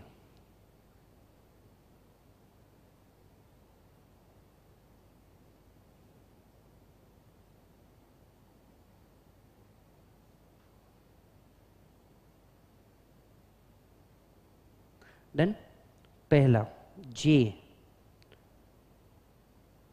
jewellery and bullion jewellery and bullion भले ही आप पर्सनल यूज़ के लिए यूज़ करते हैं, पर जब भी आप इसे सेल करेंगे it is subject to tax capital gain tax jewellery तो सर समझ में आ गया what is bullion precious stones for example ruby for example diamond ये सुनो, पुखराज, पन्ना, ये सब बुलियंस के अंदर में आ जाता है. A archaeological collection a archaeological collection archaeological collections में मैं आपको बताता हूँ, ये वो होते हैं जो एंटीक्स होते हैं। ये वो होते हैं जो एंटीक्स होते हैं। इसके पीछे का थोड़ा सा हिस्ट्री समझ लीजिए, आपको बड़ा मज़ा आएगा। लोग अपना ब्लैक मनी कहाँ छुपाते होंगे, ज़रा सोच के देखिएगा। मान लीजिए आपके पास ब्लैक मनी है। वॉट इज़ ब्लैक मनी किसी वाइट तरीके को एक्सपेंडिचर क्लेम करके बाद में सामने वाले से कैश ले लिया आपने। इसको आप क्या कह रहे हैं? ब्लैक मनी क्लियर है? या तो ये वो सेल्स है जो कभी आपने रिकॉर्ड ही नहीं करी? बराबर है? ये हो गया ब्लैक मनी अब ब्लैक मनी का एंड यूज़ बताइए क्या है? चलिए थोड़ा सा डिस्कशन कर रहा हूँ, फिर वापस यहाँ आऊँगा। आप मुझे बताइए ब्लैक मनी और क्योंकि मैं आपको रीजन बता रहा हूँ कि क्यों इसको एक्सेप्शन में रखा गया? ये सारी चीज़ों को एक्सेप्शन में क्यों रखा गया? इसका लॉजिक समझ लो, बहुत मज़ा आ जाएगा। सपोज़ आपके पास ब्लैक मनी है। इस ब्लैक मनी का एंड यूज़ बताओ मेरे को तुम तो आर्टिकल शिप कर चुके हो ब्लैक मनी का एंड यूज़ बताओ मेरे को सबसे पहले ब्लैक मनी किधर जाता? सबसे पहला ब्लैक मनी जाता प्रॉपर्टी में। सर प्रॉपर्टी में कैसे जाता? Market value is always higher government value is always lower difference is paid in cash in order to save stamp duty B gold दूसरा अभी आप रिसेंटली देखिए सरकार ने टू थाउज़ेंड रुपीज़ के नोट्स बंद किए। Yes last time two thousand rupees के नोट्स बंद किए which means out of circulation कर दिए। लोगों ने बोला भाई कब चल के 500 के नोट के साथ भी हो जाए? और दूसरी बात इतने सारे 500 के नोट रखेंगे किधर? लोगों ने क्या किया? गोल्ड में इन्वेस्ट कर दिया। यस yes, लोगों ने क्या किया? गोल्ड में। क्या आप जानते हैं व्हाइट में गोल्ड का वैल्यू था सिक्सटी थाउज़ेंड ब्लैक में गोल्ड का वैल्यू था seventy thousand seventy thousand for gram समझो बॉस इतना बड़ा डिफरेंस था। क्योंकि भर भर के लोगों ने लिया और गोल्ड का ब्लैक का मार्केट चमक गया पूरा का पूरा। तीसरा कहाँ डालोगे? बताओ। अब तीसरा चला जाता है एंटिक्स में। ये पैसा डाला जाता है एंटिक्स में। एंटिक्स में क्या होता है? कोई पुराना आर्कियोलॉजिकल कलेक्शन खरीद लिया जाता है। कोई पुराना आर्कियोलॉजिकल कलेक्शन खरीद लिया जाता है। कभी देखा, हम दिवाली पे क्या करते हैं? ज़रा समझिए। हम दिवाली पे सिक्कों की पूजा करते हैं। चांदी के सिक्कों की पूजा करते हैं। ऐसा क्यों करते हैं? उसको आर्कियोलॉजिकल कलेक्शन बोल दिया जाता है। हमारे घर में बोला जाता है, ये पुरखों से कलेक्ट किया हुआ है। इसको बाकायदा थोड़ा सा क्या किया जाता है? रंग रूप दिया जाता है। उसे हम लक्ष्मी मान के तो पूज ही रहे हैं, पर उसका पीछे इनकम टैक्स का भी एक लॉजिक है। ये सुनो इसे पुराने सिक्के को रखा जाता है आर्कियोलॉजिकल कलेक्शन बना करके। इसकी हाई वैल्यू है। और कई केसेस में it has already been held कि ये जो चांदी के चीज़ें हैं जिसको आप यूज़ कर रहे हैं, महाराजा हेमंत प्रताप सिंह जी का केस है, ये जो चांदी की चीज़ें आप यूज़ कर रहे हैं, इसे क्या किया गया है एक्सक्लूड किया गया है कैपिटल एसेट से। इसीलिए आप अपने घर में चांदी के बर्तन रखते हो, इसी के लिए आपके घर में चांदी के सिक्के की पूजा हो रही है, इसी के लिए आपके घर के जो भगवान के आइडल्स है, इसको भी क्या रखा गया है, चांदी में। क्योंकि आपके घर के बड़े लोग ये हमेशा जानते थे कि चांदी जो है, जब रेड पड़ेगी या बाकी चीज़ होगी, इसको क्या किया जाएगा एक्सक्लूड कर दिया जाएगा। समझ में तो लोग क्या करते? हैं आर्कियोलॉजिकल कलेक्शन में डालते हैं। कभी मन करे तो ओएलएक्स खोलिएगा। ओएलएक्स के अंदर में ना ओल्ड कॉइन्स डालिएगा। किंग जॉर्ज का कॉइन एक लाख रुपए में बिक रहा है। किंग जॉर्ज का कॉइन एक लाख रुपए में बिक रहा है। एक रुपए की जो नोट की गड्डी है, आज उसका market value nine hundred rupees है। नाइन हंड्रेड रुपीज़ एक रुपए की नोट की गड्डी। क्योंकि लोग क्या करते हैं? लोग इस तरीके से एक्सचेंज करके रख देते लोग क्या करेंगे? मान लीजिए, उनके घर के अंदर में कोई व्यक्ति है जिसके पास ये नोट्स है, वो क्या करेगा? वो तुरंत इन नोट्स को ले लेगा और इसको बना देगा एंटीक वो जो एक एक नोट एक की गड्डी है, दो की गड्डी है, पाँच की गड्डी है, दस की गड्डी है, वो इसको कलेक्ट करके रख लेगा क्योंकि ये एंटिक्स में आ जाएँगे। जब वैल्यू की जाएगी इन नोटों की, सौ रुपये ही होगी बट इनकी मार्केट वैल्यू हमेशा ज़्यादा होगी। इनकी मार्केट वैल्यू जो होगी, ये क्या होगी? हमेशा ज़्यादा। जैसे आपके पास अगर पाँच रुपये का ट्रैक्टर वाला नोट है, आप डाल के देखिए ओएलएक्स पे इसकी वैल्यू क्या है। सर फोर थाउज़ेंड टाइम्स इसकी वैल्यू बढ़ चुकी है। फोर थाउज़ेंड टाइम्स इसकी वैल्यू बढ़ चुकी है। मतलब क्या स्टॉक मार्केट रिटर्न देगा या एंटिक्स रिटर्न दे रहे हैं? दूसरी बात पेंटिंग्स पेंटिंग्स एंड ड्राइंग्स बहुत कम लोग हैं जिनको आर्ट की रियल समझ होती है। ये सुनो तो आप एक पेंटिंग कितने में खरीद रहे हैं? इसका एक्चुअल वैल्यू निकलता ही नहीं। कितने में आपने उस पेंटिंग को लिया? इसका रियल वैल्यू निकलता ही नहीं। बहुत कम रेयर अनलेस एंड अनटिल आप उसे लीगल ऑप्शन में खरीद रहे हैं। Drawing and painting sculptures sculptures statue इस तरीके का। इनके ऊपर बहुत पैसा होता है। पर्शियन कारपेट्स आप पर्शियन कारपेट्स लेकर के आइए, आप स्कल्पचर्स लेकर के आइए घर के अंदर में। भयानक कैश इंपोज होता है। घर के अंदर में ये एक कोने में पड़े रहते हैं, पर इनका वैल्यू बहुत ज़्यादा होता है, क्योंकि ब्लैक का पैसा कहीं तो इन्वेस्ट होगा। आदमी प्रॉपर्टी कितनी ले लेगा? क्योंकि बात समझिए प्रॉपर्टी लेने के टाइम पे व्हाइट भी लगता है, तुम सिर्फ़ ब्लैक से नहीं ले सकते, ये प्रॉब्लम है। अनलेस एंड तुम उसको पूरा ही बेनामी कर दो, किसी और के नाम पे कर दो।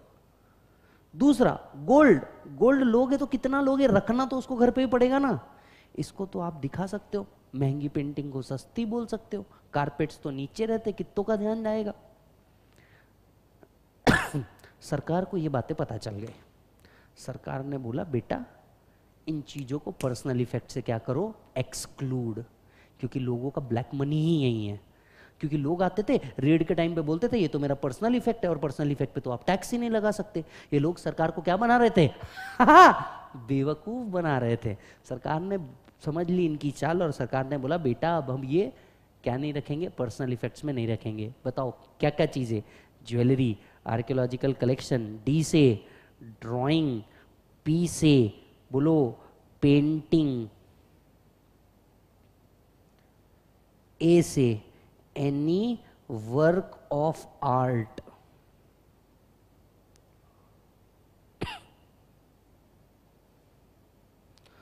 sculptures Gandhi ji का चश्मा पहनावा, सर थर्टी थ्री करोड़ में सेल होता है। कुछ तो समझिए।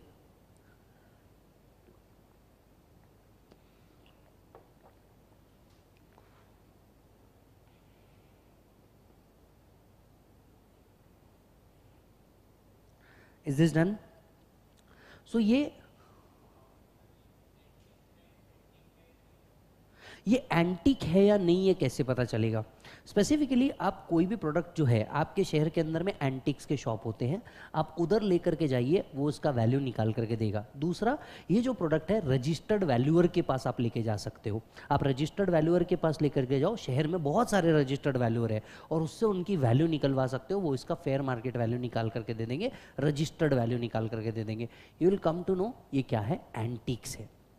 ये सुनो तो आप खुद से नहीं इसको अगर सर्टिफाई करवाना है कि हाँ ये एंटिक्स है आप रजिस्टर्ड वैल्यूअर के पास लेके चल जाओ उसको काम खत्म।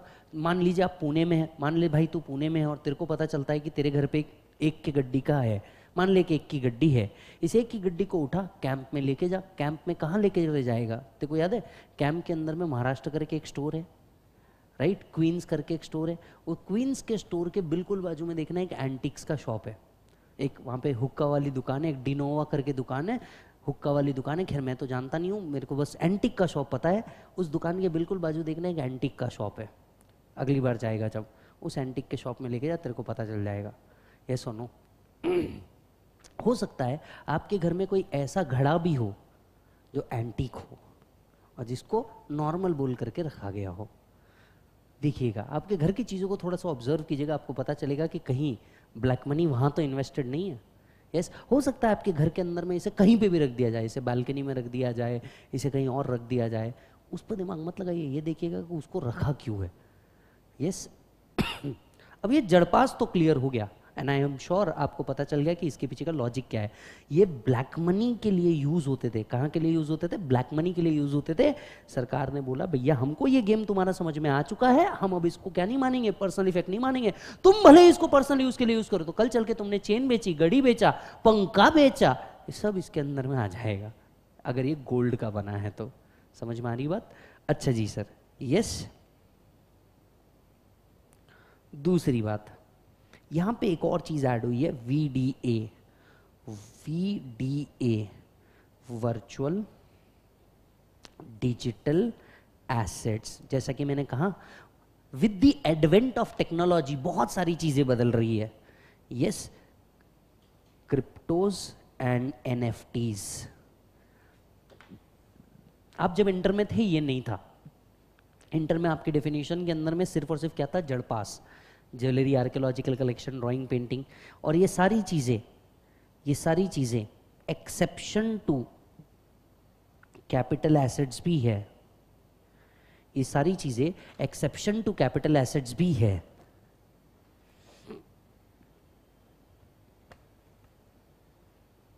Yes yes? हाँ जी? Exception to personal asset exception to personal effects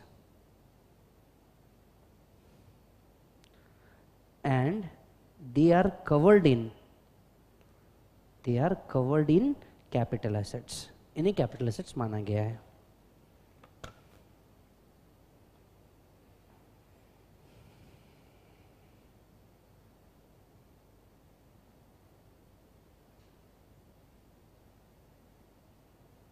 मालिक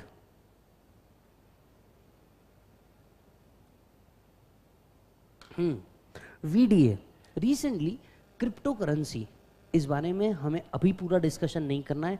हो सकता है आप अभी डिस्कशन करना चाहें, सर क्रिप्टो क्या है, ये क्या है? कुछ भी मत कीजिए। आगे एक पूरा चैप्टर है taxation of virtual digital currency हम डिटेल डिस्कशन करेंगे वहाँ पे। एज ऑफ़ नाउ आपको ये समझने हैं कि लोग क्या करते थे? रिसेंटली इंडिया में बहुत सारे लोग क्रिप्टो करेंसीज में एंटर किए, जिसमें मुख्य तौर पर बिटकॉइन आ गया इथेरम आ गया रिपल्स आ गया यस रिसेंट टाइम्स में पाई कॉइन भी आ गया। तो ये बहुत सारे लोग वर्चुअल करेंसी में एंटर किए। At the same time many of the people has entered into the era of NFTs ये एनएफटीज क्या होता है? नॉन फंजिबल टोकन्स को हम कहते हैं एनएफटीज इसका फुल फॉर्म है नॉन फंजिबल टोकन्स राइट ये जो वीडियोस एंड फ़ोटोज़ है राइट right? आप इसे क्या करवा सकते हैं? आप इसे अपने नाम पे करवा सकते हैं रजिस्टर्ड करवा सकते हैं इन फ्यूचर लोग अब क्या कर चुके हैं? जब इन्होंने फ़िज़िकल ड्राइंग एंड पेंटिंग्स को क्या कर दिया? टैक्सेशन में ला दिया। तो लोगों ने क्या कर दिया? यही ग्रे मार्केट के अंदर में वर्चुअल फ़ोटोज़ को अपने नाम करवाना चालू कर दिया और इसमें कैश में पेमेंट्स होने लग गए। सरकार को अब ये भी समझ में आ गया। सरकार ने क्या कर दिया? क्योंकि बहुत सारे लोगों का जो ब्लैक का मनी था, ये भी काय में इन्वेस्ट हुआ, बिटकॉइंस एंड ऑल। क्योंकि जिन लोगों ने पहले इन्वेस्ट करके रखे, इन्होंने ब्लैक में भी इन्वेस्ट करके रखे। अब इन लोगों को पकड़ने के लिए भी सरकार ने क्या कह दिया? If you are holding a crypto currency और if you are holding N F ये भी हम पर्सनल इफ़ेक्ट नहीं मानेंगे। जब भी आप इसे सेल करोगे they will be subject to capital gain tax yes चलो आओ, वापस से। हम कहाँ हैं? पूरे कॉन्सेप्ट को रिकॉल करवा देते हैं। हम कहाँ हैं? कैसे आइडेंटिफाई करते हैं कि कोई भी क्रेडिट इनकम है या नहीं है? हम गए कॉन्सेप्ट समझने के लिए capital receipt and revenue receipt capital receipt capital receipt चार प्रकार की होती है। लोन लाइबिलिटी दो अलग अलग लिखा, हालाँकि ये दोनों भी लाइबिलिटी के पार्ट है। लोन कैपिटल लाइबिलिटी और पर्सनल इफेक्ट्स इन पे कभी भी टैक्सेस आते नहीं। हालाँकि पर्सनल इफेक्ट्स के कुछ एक्सेप्शन है। जल्दी से बताओ पर्सनल इफ़ेक्ट के क्या एक्सेप्शन है?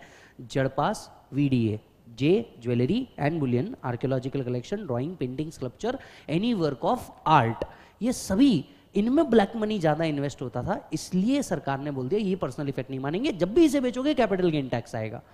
इंक्लूडिंग इस साल, पिछले साल एक और अमेंडमेंट किया वर्चुअल डिजिटल एसेट्स को भी आपके इसमें से हटा दिया। याद रखें capital receipts are not liable to tax. Capital receipts are not liable to tax.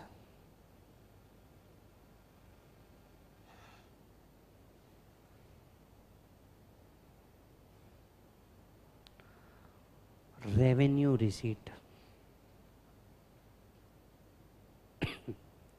All receipts other than capital receipts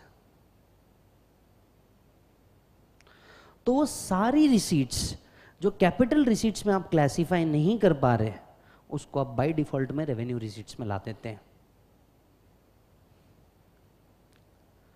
revenue receipts are always taxable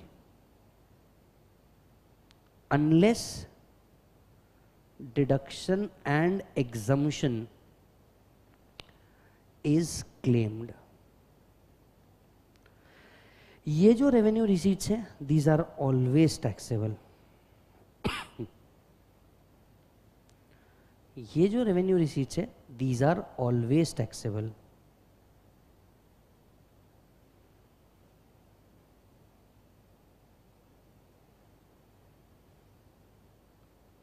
unless deduction and exemption is claimed.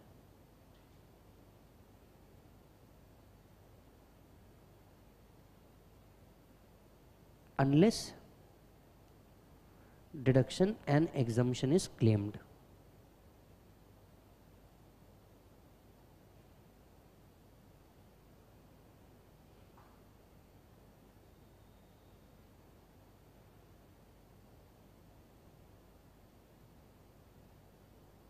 Done आइए check करिए।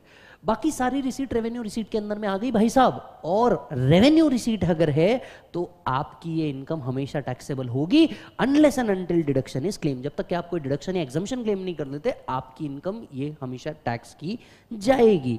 तो अब मुझे सवाल उठता है कुछ बातों का। अब मुझे बताइए, इसी पॉइंट को ध्यान में रखते हुए कोर्ट ने डिसाइड किया था।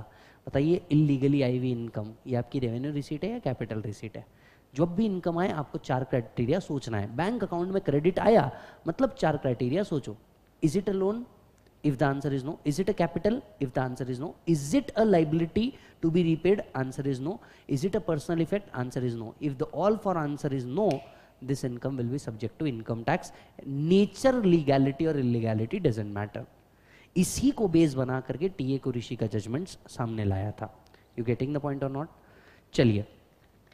Sir revenue receipts are always chargeable to tax अब मुझे एक बात बताइए। इसी चीज़ को ध्यान में रखते हुए। सपोज़ आपको पता है when you start certain kind of businesses you get subsidy from the government yes तो suppose Maharashtra government has given you of subsidy of let's say 40 percent and this comes to रफली around 4 crore for starting up a business is this your income decide on the basis of revenue receipt and capital receipt. Maharashtra government has given 40% of your capital as a subsidy for the purpose of startup. Is it an income? जितने लोग online offline है जल्दी से जवाब दें is it an income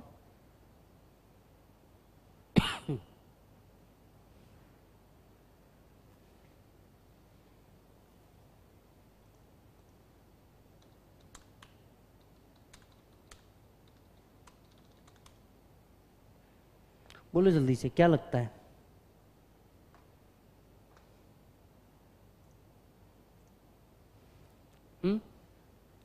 Subsidy is it an income एक जवाब हाँ। बोल भाई।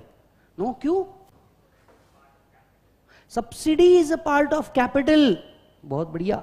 Subsidy is a part of capital now again your answer will be biased से यस और आस्क मी हाउ सब्सिडी दो प्रकार की होती है। एक होती है against the start of the business yes which at times may be repayable if it is a repayable subsidy then it is not subject to tax otherwise it is subject to tax even if it is a capital contribution subsidy जो मिलती है, ध्यान से सुनिए, हम PGBP के section 28 में इसे फिर से समझेंगे। जो आपको सब्सिडी मिलती है ये आपको अगेंस्ट द बिज़नेस मिलती है। ये आपको अगेंस्ट द बिज़नेस में मिलती है और जो सब्सिडी मिलती है, ये अगेंस्ट द एसेट्स भी मिलती है। दो तरीके से चीज़ें होती है। अगेंस्ट द बिज़नेस मतलब बिज़नेस करने के लिए सब्सिडी मिलना। फॉर एग्ज़ाम्पल अगर आप रीजनल मूवीज़ बनाते हैं जैसे कर्नाटका में कांतारा मूवी बनती है regional movie 80 percent of the cost of the project is given by state government as subsidy ये बिज़नेस करने के लिए सब्सिडी होती है। दूसरा है एसेट से रिलेटेड सब्सिडी आप जानते हैं, अगर आप सेमीकंडक्टर फैब्रिकेशन मैन्युफैक्चरिंग चिप्स के लिए मशीन इंडिया में इंपोर्ट करते हैं 50 percent of the value is available as subsidy it is against the asset तो एक बिज़नेस करने के लिए सब्सिडी मिली कि आप इस तरीके की रीजनल मूवी बनाइए मूवी को प्रमोट कीजिए। दूसरा सब्सिडी मिला एसेट इस तरीके का आपने लेके आया तो प्रोडक्शन कॉस्ट आपकी कम हो जाए, इसलिए आपको मिली। आपको मैं बता दूँ अगेंस्ट द बिज़नेस मिल रही है it is in the nature of capital only for your business ये टैक्सेबल है अंडर सेक्शन 28 ऑफ़ पीजीबीपी ये टैक्सेबल है इनसे इनकम माना जा रहा है रेवेन्यू रिसीट मानी जा रही है। यही अगर एसेट के अगेंस्ट में कोई सब्सिडी मिलती है तो याद होगा तो आपका ए एस टेन रिलेवेंट इंडेस आपको पता होगा। ए एस टेन आपको रिड्यूस करने बोलता है फ्रॉम कॉस्ट याद आ रहा है क्या? कॉस्ट में से आप क्या करो? रिड्यूस करो। कॉस्ट को वैल्यू को कम किया जाता है एंड रिड्यूस कॉस्ट पे डेप्रिसिएशन चार्ज होता है। रिड्यूस कॉस्ट पे क्या होता है? डेप्रिसिएशन चार्ज होता है। And same thing section 43 one of the income tax भी कहता है। Section 43 one which talks about actual cost if a subsidy is received against the asset reduce it from the cost समझ में आ रही बात? So subsidy is also considered as income ये revenue receipt में क्या की जाती है क्लासिफाई क्योंकि ना तो ये लोन है, ना तो ये लाइबिलिटी है, ना तो ये कैपिटल है which is given by government ना ये पर्सनल इफ़ेक्ट है। देखिए इनकम की डेफिनेशन में export incentive duty drawback cash compensatory support cash compensatory support is nothing but subsidy cash compensatory support sale of license और गवर्नमेंट असिस्टेंस ये सब क्या माना जाता है? Income what is duty drawback आप जब कुछ स्पेसिफिक प्रोडक्ट एक्सपोर्ट करते हैं तो जितनी कस्टम ड्यूटी आप पे करते हैं, इसमें का कुछ पोर्शन आपको ड्यूटी ड्रॉबैक में मिल जाता है, आपको वापस आ जाता है। That's duty drawback it is again in the nature of subsidy और इसे क्या माना जाता है? इनकम नेक्स्ट एक्सपोर्ट इंसेंटिव अगर आप कुछ गुड्स एक्सपोर्ट करते हैं स्पेसिफिकली एग्रीकल्चर रिलेटेड गुड्स तो आपको क्या मिलता है? कुछ इंसेंटिव मिलते हैं सरकार की तरफ़ से। ये एक्सपोर्ट इंसेंटिव भी क्या मानी जाती है? इनकम मानी जाती है। तो इसीलिए मैंने आपसे बहुत क्लियर कट क्लासिफिकेशन पूछा कि भैया profit and loss account sorry bank account के क्रेडिट्स में बहुत सारी चीज़ें दिखती है पर आप क्या सबको इनकम मान लोगे? नहीं। Income means a receipt but every receipt recall every receipt is not an income आप इसे कितने पार्ट में क्लासिफाई करोगे? दो। पहला कैपिटल दूसरा रेवेन्यू अगर ये कैपिटल नहीं है सीधा कहाँ क्लासिफाई करोगे? रेवेन्यू यस पर अगर आपने ध्यान दिया तो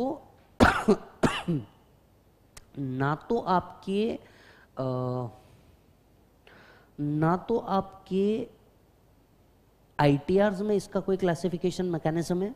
आप देखिएगा।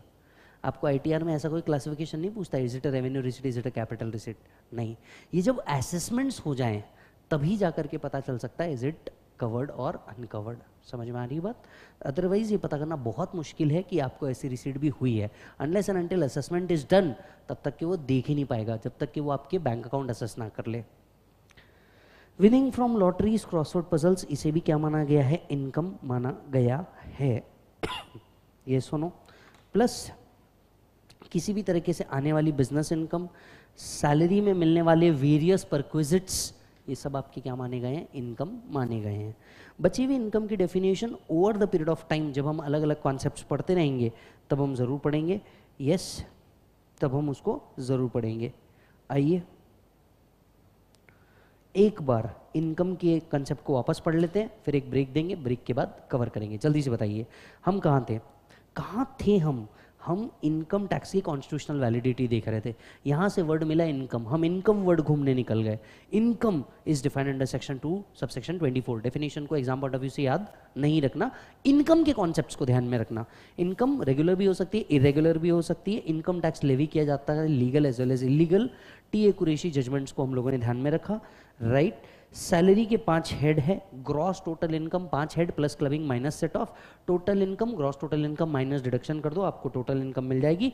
लेकिन किसी भी चीज़ को हम इनकम कम मानते हैं? मैंने आपको एकदम प्रैक्टिकली समझाया कि जब आप क्लाइंट के बैंक अकाउंट में क्रेडिट्स देखेंगे, तब आपको क्लासीफाई करना पड़ेगा, ये कैपिटल रिसीट है, ये रेवेन्यू रिसीट है, और उस बेसिस पे आप अपने इनकम को क्या करते हो? टैक्स करते हो इन रियल लाइफ। क्योंकि अलग अलग क्लाइंट्स के बैंक अकाउंट में अलग अलग क्रेडिट्स दिख सकते हैं।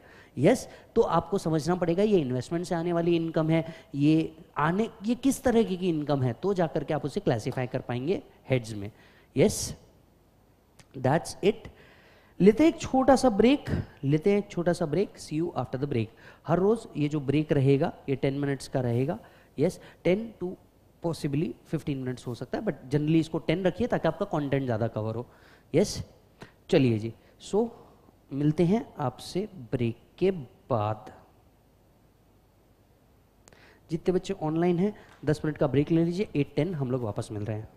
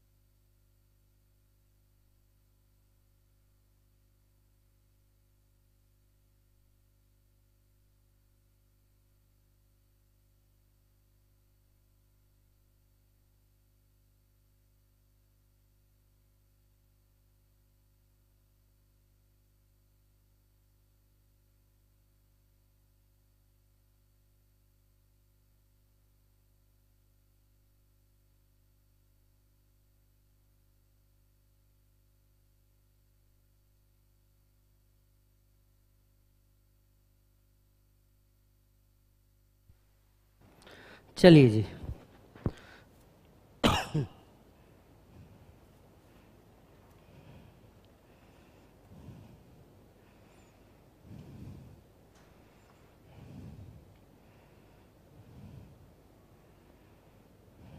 चलिए जी। Yes sir welcome after the break before the break we have discussed the concept of income now we know what is income what is tax now we know what is income what is tax let's come to the another concept which was important earlier as well and now as well.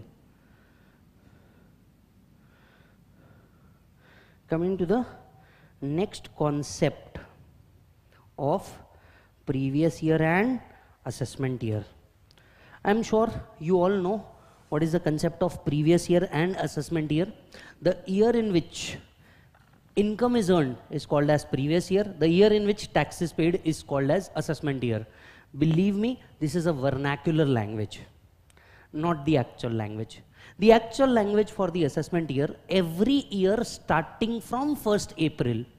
So so, हर साल first अप्रैल से जो year चालू हो जाएगा उसको हम क्या कहेंगे? असेसमेंट ईयर कहेंगे। और year preceding the assessment year is called as previous year but आप एक बात देखिए। जनरली हम लोगों ने सुना है calendar year and financial year नाम का कॉन्सेप्ट ये सुनो रियल लाइफ में दो दो कॉन्सेप्ट और एग्जिस्ट करते हैं calendar year and financial year what is calendar year a period of 12 month starting from first April every year and ending on thirty first December every year calendar year but आपने एक बात देखी income tax ने calendar year adopt ही नहीं किया। पूछो क्यों? हम पे ब्रिटिशर्स का रूल रहा है। उनका ईयर एंड होता था दिसंबर के अंदर में। तो ब्रिटिशर्स वहाँ का भी अकाउंटिंग और यहाँ का भी अकाउंटिंग ईयर एंड पे नहीं कर पाते थे। ये उनके लिए डिफ़िकल्ट हो जाता था। तो जितनी भी रूल्ड कंट्रीज़ थी, उन्होंने वहाँ के लिए क्या कॉन्सेप्ट ला लिया? फाइनेंशियल ईयर यानी दिसंबर में वो अपना ईयर एंड करते थे। और आज भी अगर आप देखेंगे their financial year ends on thirty first December जहाँ पे वर्ल्ड पूरा वर्ल्ड क्या मना रहा है? हैप्पी न्यू ईयर समझ में आ रही बात? वो वहाँ अपने अकाउंटिंग क्लोज करते थे एंड लेटर ऑन बाकी सारी जगह के लिए वो क्या करते थे? फाइनेंशियल ईयर तीन महीने का गैप लेते थे और यहाँ की अकाउंटिंग उसके बाद डन करते थे। और इस तरीके से फाइनेंशियल ईयर कंसेप्ट का क्या हो गया? कंसेप्ट आया। तो उन्होंने financial year and calendar year को अलग अलग कर दिया।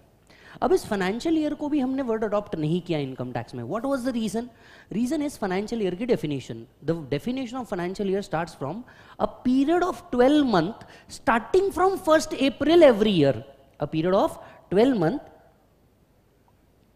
starting from first April every year you tell me in reality जैसे एफआर में बताया जाता है, क्या हर बिज़नेस फ़र्स्ट अप्रैल को चालू होता है?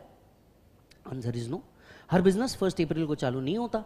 दूसरा, क्या हर बिज़नेस क्लोज क्या मानेंगे? प्रीवियस ईयर आप सभी लोगों के लिए प्रीवियस ईयर इज़ 23 24 आप सभी लोगों के लिए प्रीवियस ईयर क्या है बेटा? 23 24 income earned during the previous year get taxed in assessment year previous year में आप जितनी भी इनकम कमा रहे हैं, इस पर जो टैक्स देना पड़ता है, ये कब देना पड़ता है? असेसमेंट ईयर में.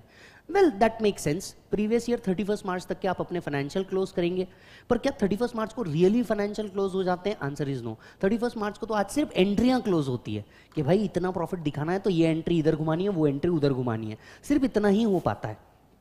ये सो नो इससे ज़्यादा कुछ नहीं हो पाता. इसीलिए इसीलिए क्या किया जाता है? जल्दी से बताइए. प्रीवियस ईयर को क्लोज करने के बाद असेसमेंट ईयर की डेट्स पे आपको क्या करना पड़ता है? टैक्सेस पे करने पड़ते हैं। सो so, बताइए can previous year be less than twelve months yes उसको लाने का तो लॉजिक ही यही था। So previous year can be of less than twelve months ये बारह महीने से कम का हो सकता है। ये 12 महीने से कम का हो सकता है। Yes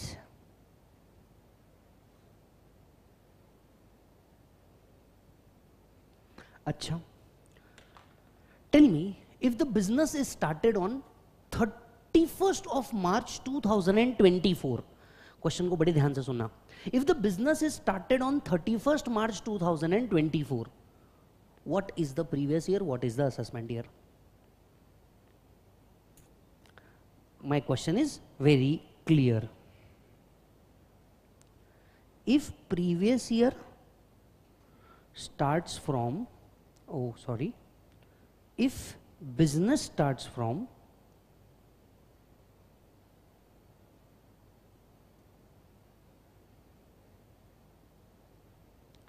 thirty first March two thousand twenty four thirty first March 2024. What is my previous year? What is my assessment year?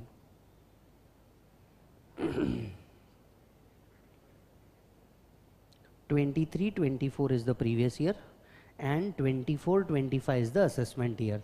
Absolutely correct, and the answer is correct. बिल्कुल सही क्या सीखा हमने point number one previous year can be of one day also समझ में आ रही बात? Previous year can be of one day also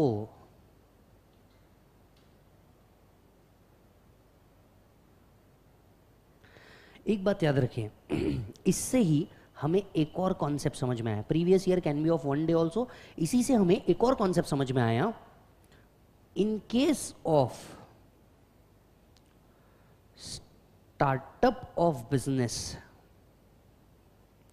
previous year starts from the date of commencement. Previous year start from the date of commencement और ये MCQ है, इसके पहले पूछा जा चुका है। ये एमसीक्यू है, इसके पहले पूछा जा चुका है। तो अगर बिज़नेस स्टार्ट होता है you have to write it down अगर बिज़नेस स्टार्ट होता है तो प्रीवियस ईयर भी उसी दिन से कमेंस होता है, जिस दिन से आपका बिज़नेस कमेंस हुआ है। Yes yes? मेरा एक और सवाल है। मान लीजिए, आप सभी जानते हैं बिज़नेस चालू करने से पहले आपको गुमास्ता लेना पड़ता है। कभी सुना है इस बारे में? गुमास्ता या रजिस्ट्रेशन सर्टिफिकेट लेना पड़ता है। प्रोपराइटरशिप सर्टिफिकेट भी बोलते हैं, जिसको लोकल लैंग्वेज में गुमास्ता बोला जाता है। तो मान लीजिए आपने गुमास्ता लिया लेट से फेब्रवरी में and you actually commence the business from thirty first March मुहूर्त अच्छा था। तो प्रीवियस ईयर आपका कहाँ से काउंट हो रहा है? जिस दिन से गुमास्ता या उस दिन से? क्योंकि गुमास्ता पे एक डेट होगी। या उस दिन से जिस दिन से आपका बिज़नेस कमेंस हुआ? The law is very clear from the date of commencement reason हो सकता है आप लीगल कंप्लायंसेस पहले कर दें, पर आपकी पहली इनकम जो पहली रिसीट होगी, वो तो स्टार्ट ऑफ़ द बिज़नेस पे ही आएगी। तो जिस दिन बिज़नेस कमेंस हुआ, हम उसको मानते ना कि रजिस्ट्रेशन को। हालाँकि इतना डीप मुझे नहीं लगता आपको पूछा जा सकता है बट फिर भी ये आपकी क्लैरिटी के लिए है कि फ्यूचर में चल के किसी क्लाइंट से रिलेटेड ये क्वेश्चन आए तो आपको ये चीज़ पता होनी चाहिए। क्लियर है? वैसे जनरली फ़र्स्ट ट्रांजैक्शन कब होता है? जब आप नॉर्मली अगर आप इंडिया में हैं तो फ़र्स्ट ट्रांजैक्शन ही कब होता है? फ़र्स्ट ट्रांजैक्शन ही जिस दिन आप ओपनिंग करते हैं तो जनरली माँ बाप ही कुछ ले लेते हैं, या आप अपने रिलेटिव्स को बुलाते हैं, उसी दिन वो पहला बिल फाड़ करके दे देते हैं। दैट इज़ कंसिडर और वैसे भी अगर हम एक दिन की बात कर रहे हैं तो एक दिन में आप इतनी इनकम जनरेट नहीं कर देंगे जो टैक्सेबल ही जाए। अनलेस एंड अनटिल पहले दिन का सेल्स बहुत बड़ा हो राइट right? तो माना तो इस दिन से ही जाता है कि जिस दिन आप कमेंट्स करते हैं। ओके देन आते हैं हम असेसमेंट ईयर पे। क्या previous year and assessment year इस शॉर्ट फॉर्म में लिखा जा सकता है? Answer is yes assessment year is the year starting from first April every year a year starting from first April every year we pay tax in the assessment year. We pay the tax in assessment year. Assessment year is always of 12 months. याद रखें assessment year short नहीं होता assessment year पूरे 12 महीने का ही रहता है असेसमेंट ईयर पूरे 12 महीने का ही रहता है general rule income of previous year is taxable in assessment year. What is the general rule? Income of previous year is taxable in assessment year. Income of previous year is taxable in assessment year generally ये rule है जिस साल की income है उसी साल में क्या करना पड़ता है देना पड़ता है but but but but but इसके कुछ एक्सेप्शन हैं इसके कुछ क्या है? एक्सेप्शन और ये थ्योरी में आपको पूछा जाता है। फाइनल लेवल पे ये एक थ्योरी का क्वेश्चन है। What are the exception to the general rule income of previous year taxable in assessment year इसी को ऐसा भी बोला जा सकता है। What are the cases where previous year is equal to assessment year? What are the cases where previous year is equal to assessment year? इस तरीके से भी इस क्वेश्चन को पूछा जाता है। ध्यान रखिएगा। इस तरीके से भी इस क्वेश्चन को क्या किया जाता है? पूछा जाता है। सो so, आइए समझते हैं। व्हाट आर दी एक्सेप्शन पहला AOP BOI formed for short duration. AOP and BOIs form for short durations. Understand कीजिएगा। बहुत सारे इवेंट इंडिया में ऐसे होते हैं जो बड़े शॉर्ट ड्यूरेशंस के लिए होते हैं। और इन शॉर्ट ड्यूरेशंस में भी दे अर्न इनकम सर क्या आप मुझे कुछ ऐसे इवेंट्स बता सकते हैं जो बड़े शॉर्ट ड्यूरेशंस के लिए होते हैं? आप कौन कौन से आइडेंटिफाई कर पाएँगे कि हाँ सर ये बड़े शॉर्ट ड्यूरेशंस के लिए होते हैं। मैं बताऊँ, सबसे पहले गणपति। आपके बहुत सारे जो गणपति के इवेंट्स होते हैं राइट ये क्या होते हैं? शॉर्ट ड्यूरेशंस के होते हैं। इसमें बहुत सारा अमाउंट कलेक्ट होता है। इसी से एक गहरे डिस्कशन पे लेके जाना हूँ बड़े ध्यान से सुनना। मंदिर में या गणपति पंडालों में लोग आते हैं, दर्शन करते हैं, पैसा डालते हैं, निकल जाते हैं, ठीक है? हमारा पूरा ध्यान पैसे पे होना चाहिए forget about the religious activity पूरा ध्यान पैसे पे होना चाहिए। अब हम पैसा देख रहे हैं, क्या ये ट्रस्ट की या उस पंडाल की इनकम है? इसको इंग्लिश में कहा जाता है voluntary contribution received is voluntary contribution considered as income yes और नो ये टैक्सेबल है या नहीं है, मैं इस बात पे क्वेश्चन नहीं कर रहा हूँ। हम वापस से इनकम कॉन्सेप्ट में घुस रहे हैं। ये टैक्सेबल है या नहीं है, मैं इस पे बात नहीं कर रहा हूँ। मैं बात कर रहा हूँ, क्या ये इनकम है? आंसर इज़ यस इधर देखिए। मैंने आपसे कहा ना, मैं धीरे धीरे धीरे धीरे आपको एंटर करवाऊँगा। वॉलेंट्री कॉन्ट्रीब्यूशन रिसीव्ड को भी इनकम माना गया है। समझ में आ रही बात? इसीलिए मैंने कहा, एक बार में पढ़ लोगे, मज़ा नहीं आएगा। धीरे धीरे पढ़ते जाओ डीटी चढ़ते जाएगा। वापस से आना। ठीक है? So AOP be form for short duration Ganpati हो गया। आपने देखा होगा, नवरात्रि एक ऐसा इवेंट है जहाँ पे क्या किया जाता है? पासेस सेल किए जाते हैं। पासेस सेल करके गरबा किया जाता है। इनकम तो हुआ ना? एडवर्टीजमेंट्स लगाई जाती है गरबा इवेंट्स पे। सोचते जा एडवर्टीजमेंट्स लगाई जाती है। एडवर्टीजमेंट से आने वाली इनकम ये नो कई छोटे छोटे स्टॉल वालों को बोला जाता है, आप अपना प्रोडक्ट वहाँ पे सेल कर सकते हैं। कॉन्ट्रीब्यूशन कलेक्ट किया जाता है। AOP, BOI, these are form for short duration. These are unregistered organization. Unregistered organization मतलब क्या होता है? इनने कोई स्पेसिफिक रजिस्ट्रेशन नहीं किया हुआ होता है। Unregistered organisation generating an income क्या किया जाता है? टैक्स किया जाता है जिसको हम बोलते हैं BOI या AOP. अच्छा दूसरी बात। एक और याद दिलाता हूँ आपको। बहुत सारे म्यूज़िक इवेंट्स बहुत सारे music event Arijit Singh sir आ गए। यस पीयूष मिश्रा सर आकर के बल्ली मारन का प्रोग्राम कर रहे हैं किसी सिटी के अंदर में। तो ये जो म्यूज़िक कॉन्सर्ट्स होते हैं डांस कॉन्सर्ट होते हैं ये क्या किए जाते हैं? ये एक या दो दिन के बहुत बड़े इवेंट होते हैं। ए आर रहमान सर आ गए। यस yes, ये म्यूज़िक इवेंट्स होते हैं। पासेस सेल किए जाते हैं लिकर सेल की जाती है एडवर्टीजमेंट सेल की जाती है पासेस सेल किए जाते हैं। आने वाली income a AOP be form for very short duration अब आप मुझे बताइए अगले साल ये इवेंट होगा ज़रूरी है? नहीं। क्योंकि देखिए ए आर रहमान सर, अगर मैं सिर्फ़ पुणे की बात करूँ A R Rahman sir Pune में तीन साल बाद आए। पहले आए थे तीन साल पहले और तीन साल बाद आए। अब ज़रूरी अगले साल ही आएँगे। अब क्या होगा? जो ऑर्गेनाइजर्स है इनकम टैक्स डिपार्टमेंट उनके पास जाता है। लाइए सर टैक्स दीजिए। ऑर्गेनाइजर क्या बोलेगा? सर, पुढच्या वर्षी लवकर अगले साल हम आएँगे, अगले साल टैक्स देंगे। एकदम कॉमन सेंस बताइए, अगले साल ऐसा कोई इवेंट होगा ये ज़रूरी है? आंसर इज़ नो तो क्या किया जाता है? इनको टैक्स भरना पड़ता है उसी ईयर के अंदर में।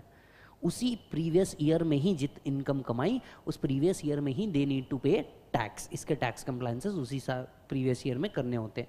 इसके बाद में बहुत सारे रेसिंग इवेंट्स होते हैं।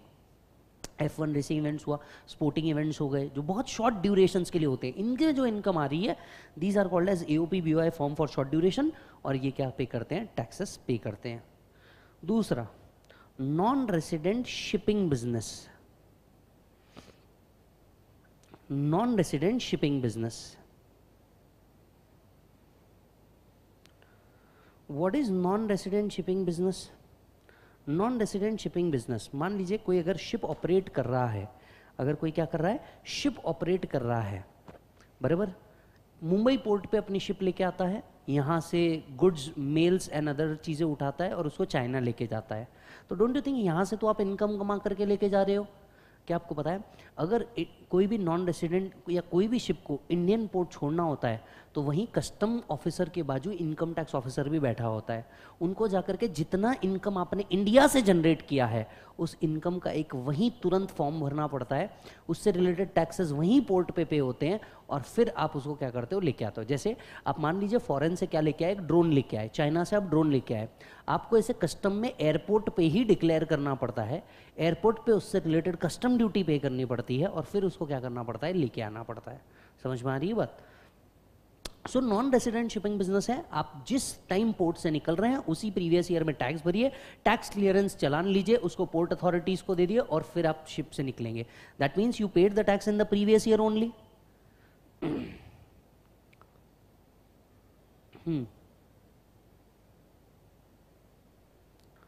transfer of property to avoid taxes transfer of property to avoid taxes.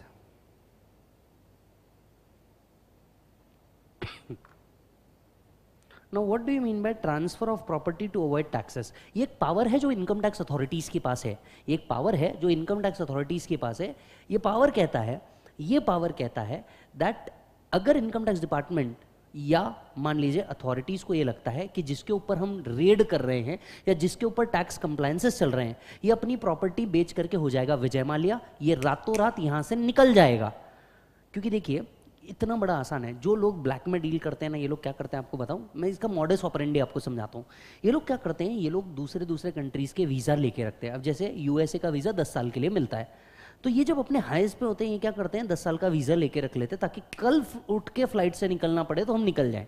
समझ में आ रही बात? या पैसा इतना होता है ट्रिप प्लान नहीं कर सकते और अचानक से इनको भगना है तो ये क्या करेंगे? ये निकल जाएँगे। अच्छा इनफैक्ट प्रॉपर्टी ट्रांसफ़र करने के लिए वापस इंडिया आने की भी ज़रूरत नहीं। पूछो क्यों?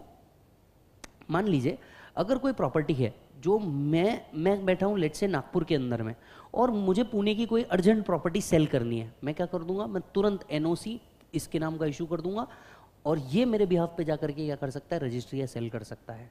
तो उसको आने की भी ज़रूरत नहीं। लोग क्या करेंगे, क्योंकि इंडिया के लॉज अगर पीछे पड़े तो बहुत स्टैंडेंटली पीछे पड़ते हैं। ये लोग क्या करते हैं ट्रांसफ़र करते प्रॉपर्टी रातों रात जो पैसा मिल रहा है पकड़ा और निकल लिए।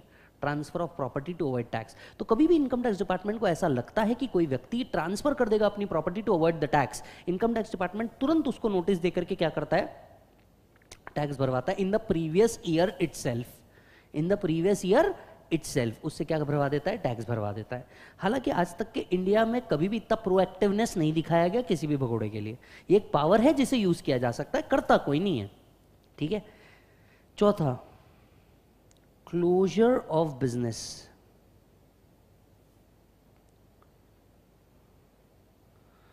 closure of business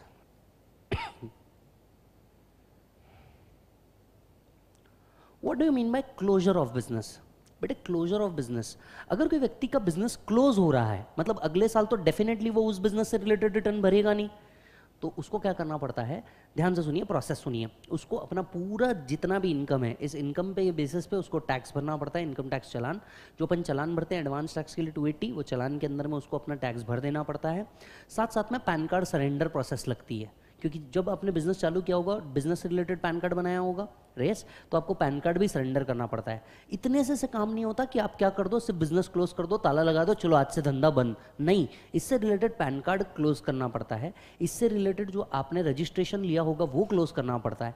क्योंकि अगर ऐसा नहीं हुआ तो आपका पैन कार्ड एक्टिव दिखता है, जिसके अगेंस्ट में आप अगले साल रिटर्न भरोगे ही नहीं। नॉन कंप्लायंस ऑफ़ रिटर्न के लिए क्या किया जाएगा? आपको पेनल्टी लगा दी जाएगी। तो in order to save your client from the penalty आपको ये कंप्लायसेस करने पड़ते हैं। तो जिस साल आप बिज़नेस क्लोज कर रहे हैं surrender your PAN pay the balance tax and communicate the income tax department through a letter of communication that sir we are closing down this particular firm and thereby we are surrendering the PAN तब जाकर के क्या किया जाएगा? Income tax department इसे close मानेगा। हम्म। And last person leaving India permanently person leaving India permanently.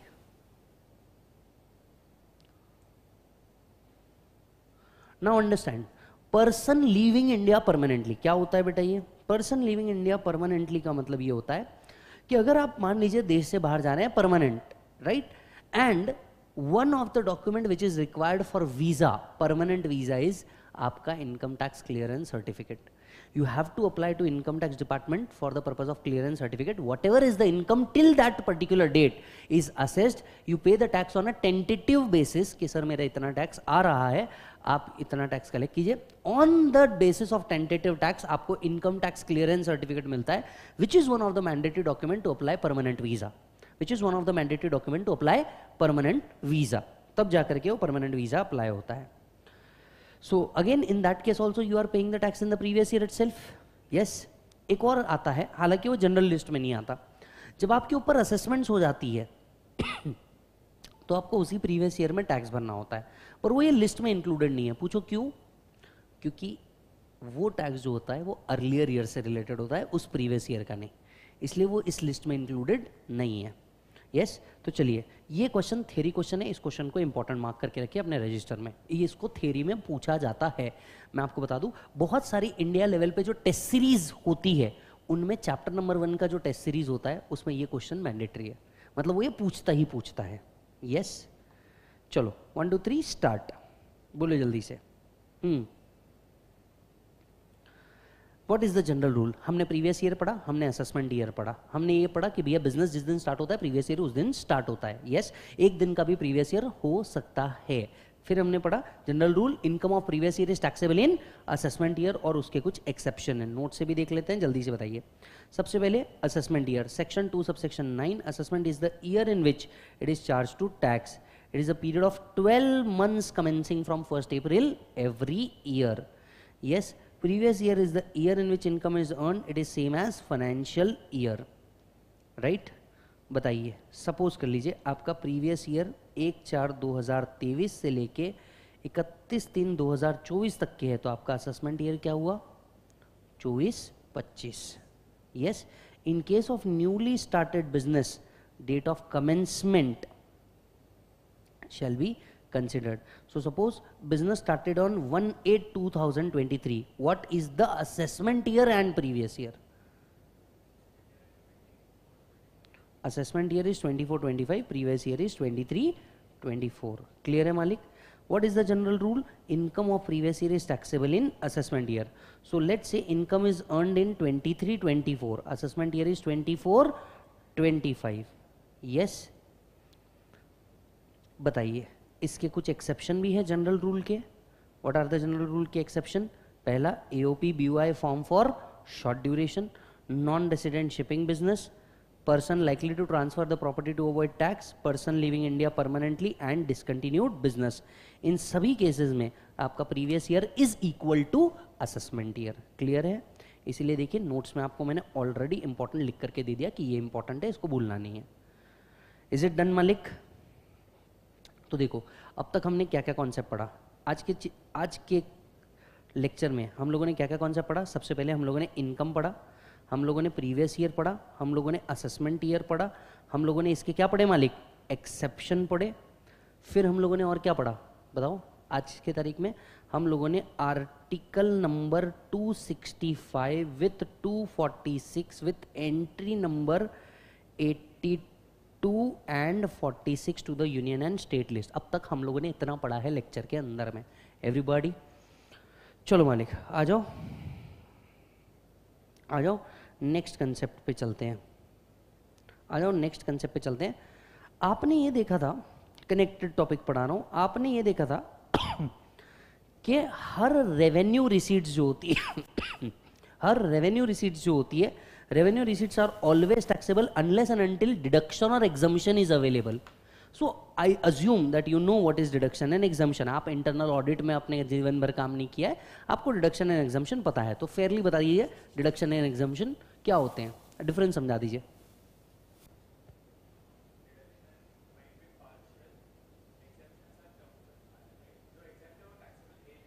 Yes perfectly right अगर कोई चीज़ एग्जाम्ट है मतलब वो टोटल इनकम का ही पार्ट नहीं बनती, यानी अगर इसको हम लिखेंगे नहीं, ये चीज़ ऑलरेडी नोट्स में दिया हुआ है चेक करिए। अगर आपकी इनकम एग्जाम्ट है तो ये 100 परसेंट एग्ज़ाम है, जबकि डिडक्शन पार्शल होता है। If you satisfy certain condition then you get deduction ये सुनो डिडक्शन जो होते हैं ये दो वे में अवेलेबल होते हैं। एक होता है हेडवाइज डिडक्शन याद करके देखिए आपके क्लाइंट का जो घर का इंटरेस्ट है आप उसको 24 के अंदर में डिडक्शन लेते हो इंटरेस्ट ऑन बोरोड कैपिटल को।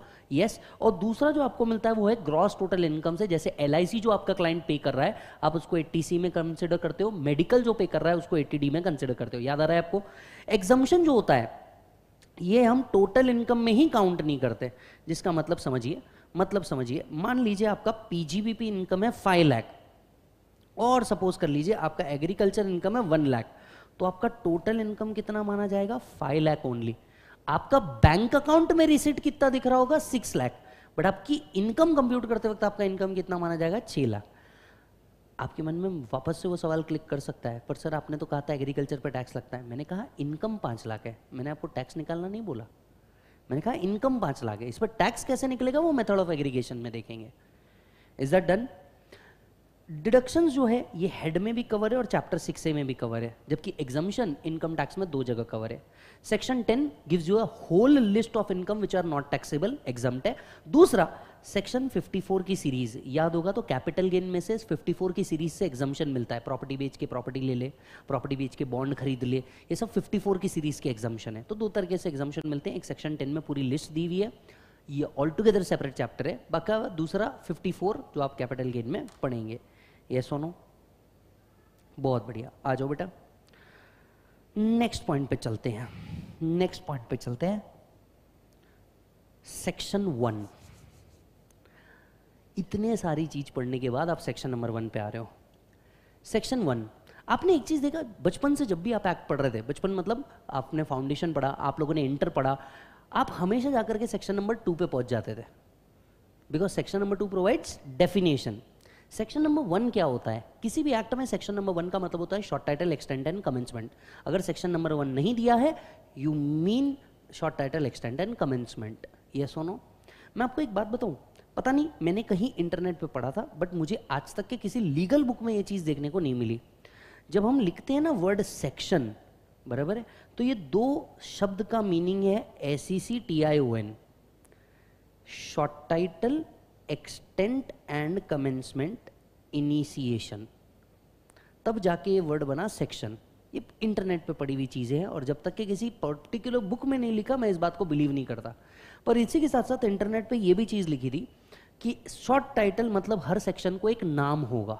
एक शॉर्ट टाइटल दिया होगा, जैसे सेक्शन 37 डिडक्टिबल एक्सपेंडिचर यस दूसरा है एक्सटेंट मतलब सेक्शन खुद बताएगा मैं किस पे एप्लीकेबल हूँ, किस पे नहीं। So it is applicable to company it is applicable to every person तीसरा है short title extend and commencement section खुद बताएगा मैं किस दिन से कमेंस हो रहा हूँ। And unless a specific date is mention section का कमेंसमेंट डेट एक्ट का कमेंसमेंट डेट माना जाता है। तो कहीं पढ़ा था बट आप इसके ऊपर फोकस मत कीजिए।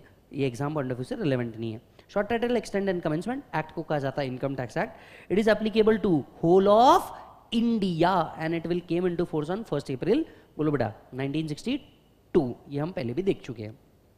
कितने सेक्शन है 298 कितने शेड्यूल है? 14 क्लियर इंडिया मतलब क्या? वैसे मैं आपको एक बात बताऊँ इंडिया की डेफिनेशन मैंने डीटी में आपको ज़रूर दे रखी है, लेकिन इसका रेलेवेंस डीटी में है ही नहीं। इंडिया की डेफिनेशन का सबसे बड़ा रेलेवेंस आपको जीएसटी में काम आता है, वो भी कस्टम पार्ट में। यस तो इसको वहाँ पढ़ना चाहिए, हालाँकि मैं आपको क्लियर कट बता दूँ। इंडिया मतलब कहाँ तक फैला हुआ है? इंडिया इनकम टैक्स पर्पज के लिए 200 नॉटिकल माइल्स तक के एक्सटेंड होता है। अंडरस्टैंड कीजिए? आपको आईडीटी में भी सेम तरीके का डेफिनेशन दिख जाएगा, मैं सिर्फ़ क्लैरिफाई कर रहा हूँ। इंडिया का पोर्ट यहाँ से पहले 12 नॉटिकल माइल्स तक के कहा जाता है टेरिटोरियल वाटर क्या कहा जाता है?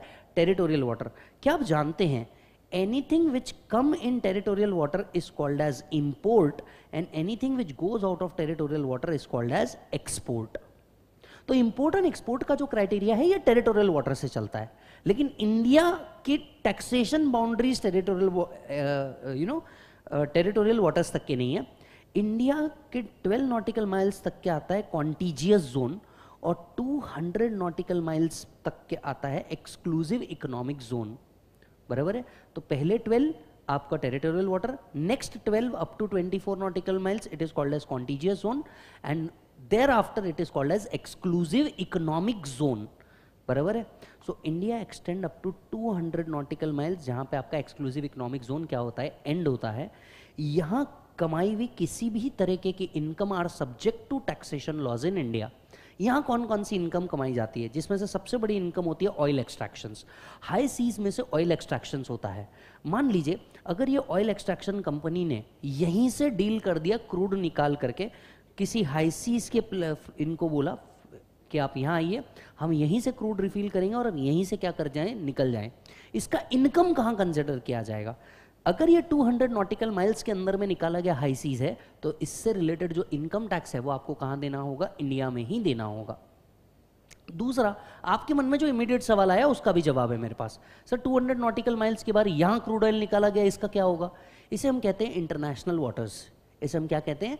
इंटरनेशनल वाटर्स और जब दो कंट्रीज़ यहाँ इन्वॉल्व हो जाती है, अब जैसे अगर देखा जाए इंडिया के केस में यहाँ पाकिस्तान इन्वॉल्व हो जाता है इंटरनेशनल वाटर्स क्योंकि इंटरनेशनल बॉर्डर्स हम क्या कर रहे हैं? इंटरनेशनल वाटर्स हम शेयर कर रहे हैं। नीचे इधर श्रीलंका आ जाता है।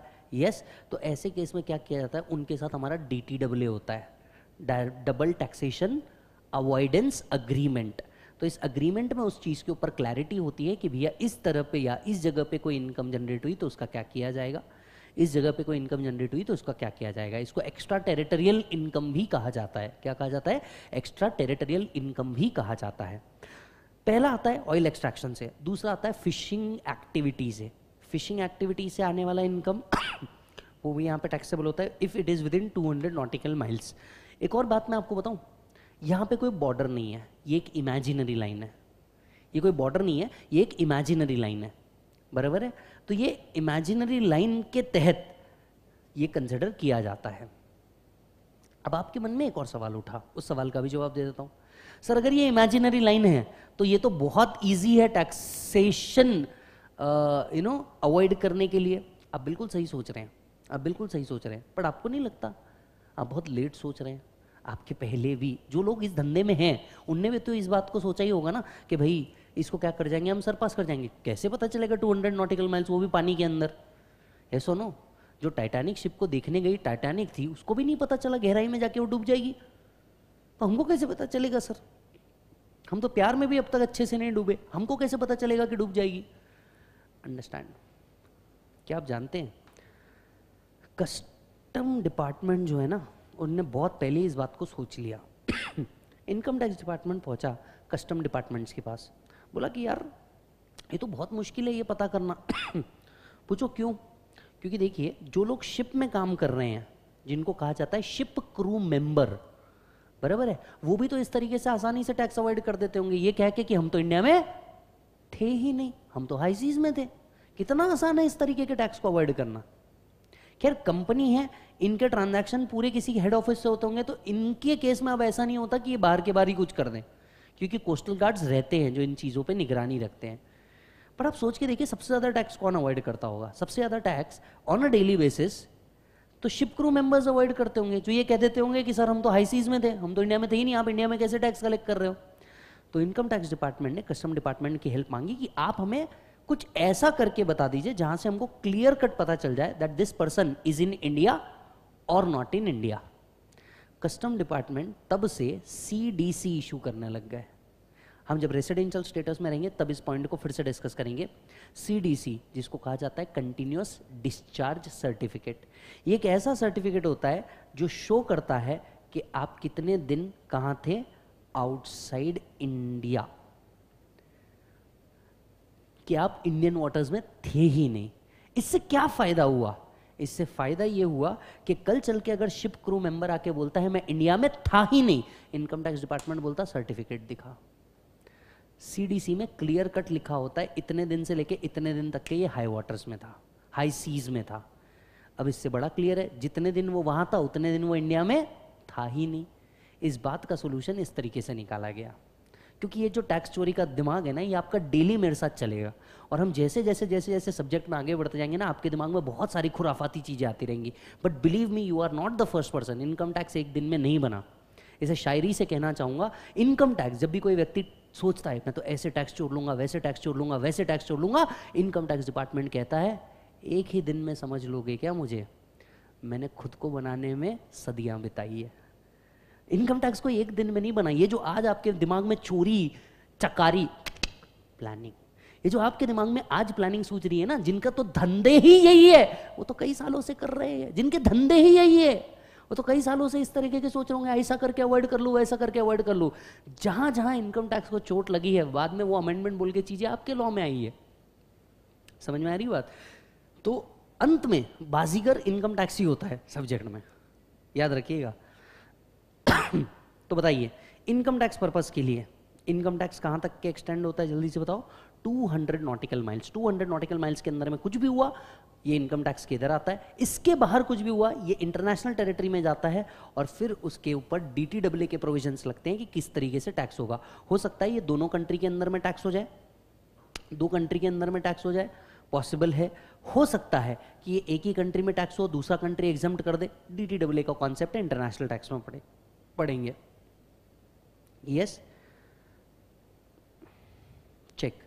India means territory of India as per article 1 to the indian constitution, its territorial water.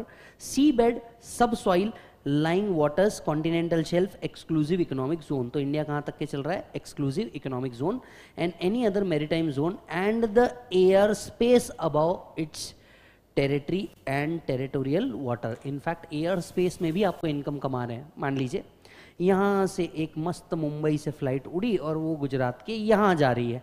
और यहाँ क्या हुआ? फ़्लाइट के अंदर में कोई प्रोडक्ट सेल होता है। फ़्लाइट के अंदर में प्रोडक्ट सेल होते हैं? यस काजू सेल होते हैं, बिस्किट सेल होता है, मैगी सेल होती है कॉफ़ी सेल होती है।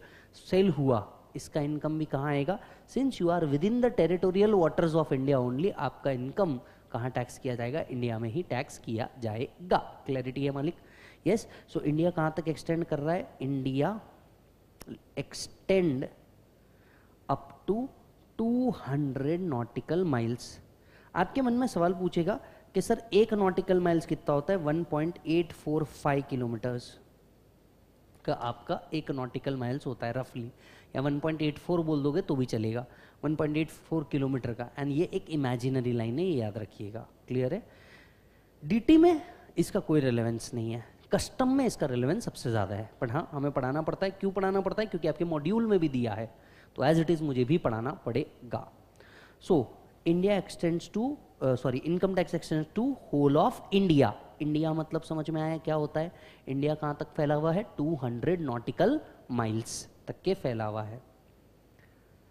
देख, अब चैप्टर समझ। सेक्शन नंबर वन पढ़ लिया short title extended commencement section number two बहुत सारी डेफिनेशन है ओवर द इनकम टैक्स पढ़ेंगे। बराबर है? सेक्शन नंबर थ्री तेरा प्रीवियस ईयर असेसमेंट ईयर का डेफिनेशन था। सेक्शन नंबर वन रिकॉल कर। Section number one short title extended commencement exam out of you irrelevant section number two various definition relevant अलग अलग chapters के अंदर में पढ़ेंगे। Section number three previous year का definition we have already done अब हम आ रहे सेक्शन नंबर फोर के ऊपर। लॉजिक समझ रहा है सभी को?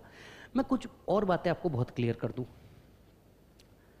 डायरेक्ट टैक्स इंटरनेशनल टैक्स जो सब्जेक्ट है ना, वो आपके ए बी सी डी जैसा नहीं है। पहले ए पढ़ो, फिर बी पढ़ो, फिर सी पढ़ो, फिर डी पढ़ो। इनकम टैक्स बहुत अलग अलग जगह से कनेक्टेड है और इनकम टैक्स का सही क्लैरिटी लेने के लिए सबसे बेस्ट चीज़ ये है कि आप इसको लाइन से नहीं पढ़ सकते। क्योंकि एक चीज़ इधर है, एक चीज़ उधर है, एक चीज़ उधर है। बिल्कुल अलग अलग जगह फैला हुआ है। तो आपको मज़ा ही तब आएगा जब आप इसको कंबाइंड करके पढ़ोगे, उसके पहले आपको मज़ा नहीं आने वाला। तो पूरे चैप्टर के अंदर में ऐसा हो सकता है, हम किसी भी सेक्शन से किसी भी सेक्शन में जाएँ और बाद में आकर के इस सबको क्या करें? कनेक्ट करें। इसीलिए आप देखिए, हमने जब डीटी एज एन एक्ट की शुरुआत करी, मैंने आपको पहले वन नहीं पढ़ाया, मैं आपको सीधा टू के डेफिनेशन में लेके गया, जहाँ जहाँ वर्ड आए, और फिर वापस लेकर के आया इधर। अब अगर मैं रिकॉल करवा रहा हूँ तो one is short title extend and commencement two various definition जहाँ जहाँ ज़रूरत पड़ेगी वहाँ पढ़ेंगे three is previous year and fourth जो अब हम पढ़ने जा रहे हैं। एग्ज़ाम पॉइंट ऑफ़ व्यू सबसे ज़्यादा सेक्शन नंबर चार इंपॉर्टेंट है, चारों सेक्शन में। ठीक है? रजिस्टर में आइए। रजिस्टर में आइए। एज इट इज़ इसको कॉपी कीजिए। और जैसे लिखा है प्लीज़ वैसे ही कॉपी कीजिए। सेक्शन नंबर फोर को कॉपी करो। इनकम टैक्सेस पेबल और जैसे जैसे लिखा है, वैसे ही करना। पेज की चिंता मत करना।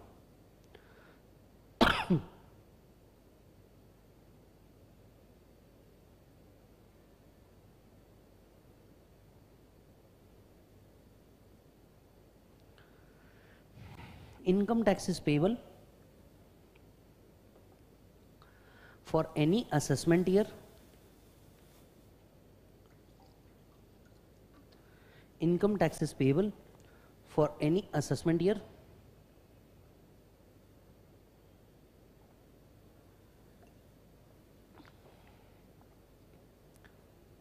At the rate specified in annual finance act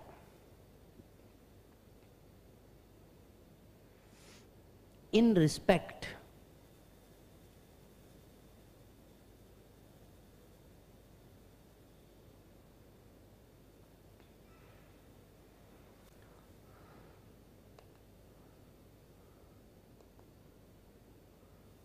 of total income of any person in previous year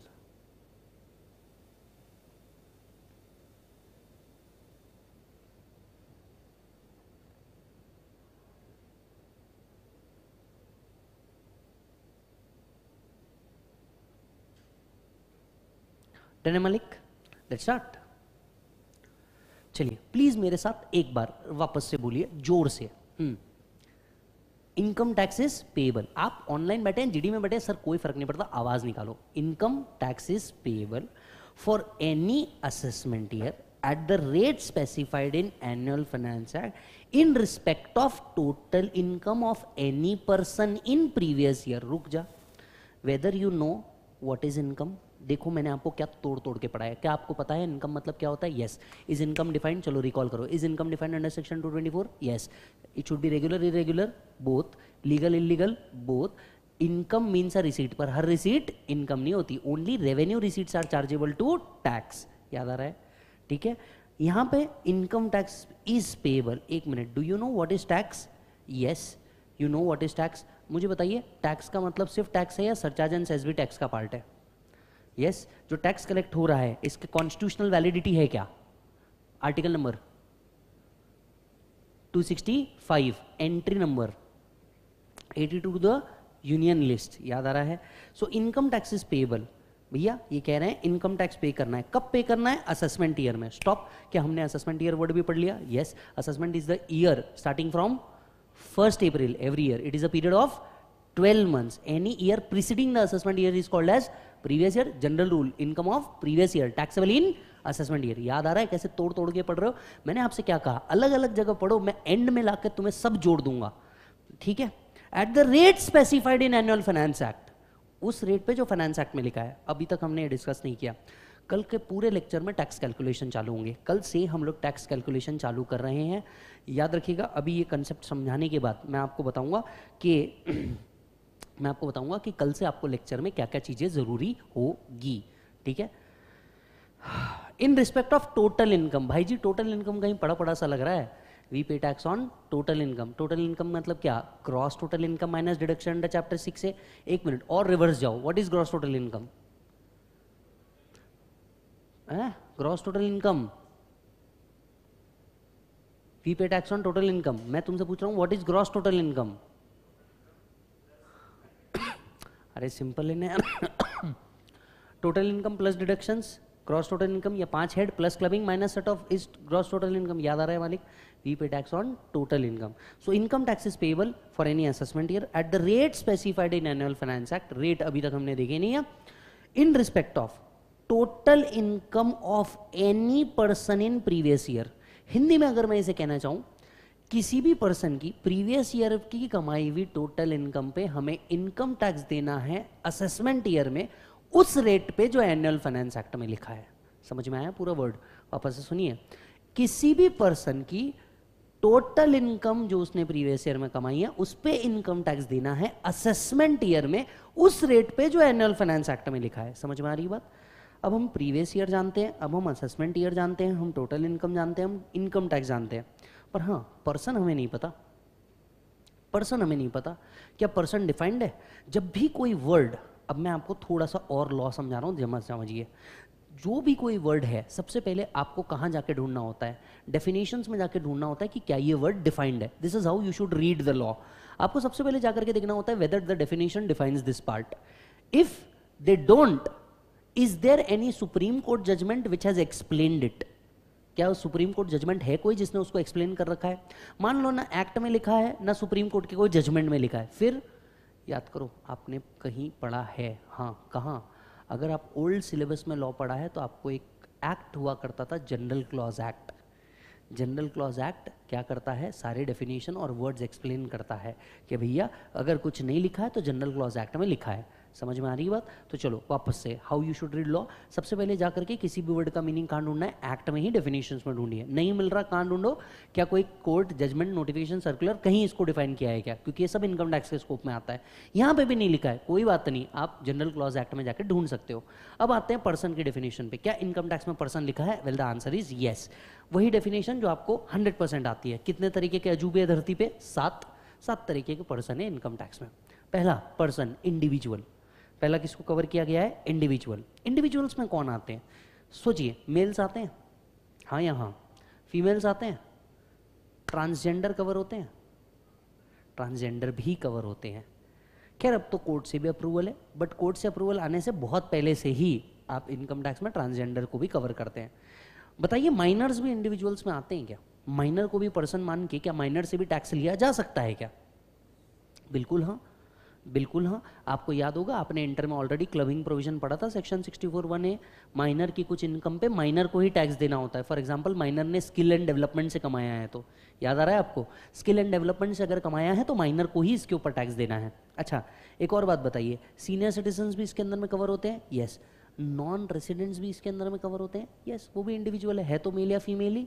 so individual मतलब क्या होता है भालिक इंडिविजुअल का मतलब होता है नेचुरल पर्सन इंडिविजुअल का मतलब क्या होता है? नेचुरल पर्सन तो इसके अंदर में मेल कवर होते हैं फीमेल कवर होते हैं चाइल्ड्स भी कवर इसके अंदर में होते हैं. Yes yes. अच्छा जी. दूसरा है हिंदू अनडिवाइडेड फैमिली क्या आप जानते हैं, आपने इंटर लेवल पे सिर्फ़ एच वर्ड पढ़ा है. फाइनल में एक पूरा चैप्टर है टैक्सेशन ऑफ़ एच हम पढ़ेंगे. इसको असेसमेंट ऑफ़ वेरियस एंटिटीज में कवर किया जाता है. तो चलिए एच से रिलेटेड कुछ बातें आपसे कर लेता हूँ. कैन विमेन भी करता?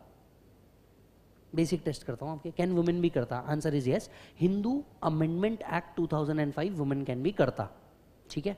दूसरी बात is coparcener of H and member of H same मैं आज ही आपका बेस क्लियर कर रहा हूँ। ये पूरा चैप्टर है आप लोगों को। जो मैंने आपसे कहे ना 48 चैप्टर उसमें से एक चैप्टर ये भी है टैक्सेशन ऑफ़ एच तो मैं आपका बेस क्लियर करना चाह रहा हूँ। सवाल वापस रिपीट कर दूँ? सवाल है is coparcener of H and member of HUF one and the same thing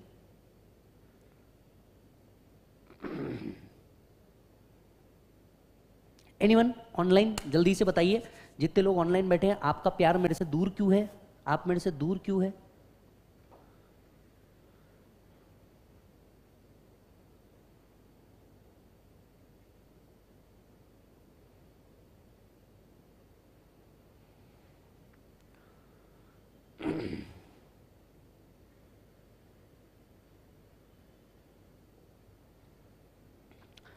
मेरा भाई कह रहा है, मनमोहन भाई कह रहा है, नहीं सर, ये दोनों अलग अलग है।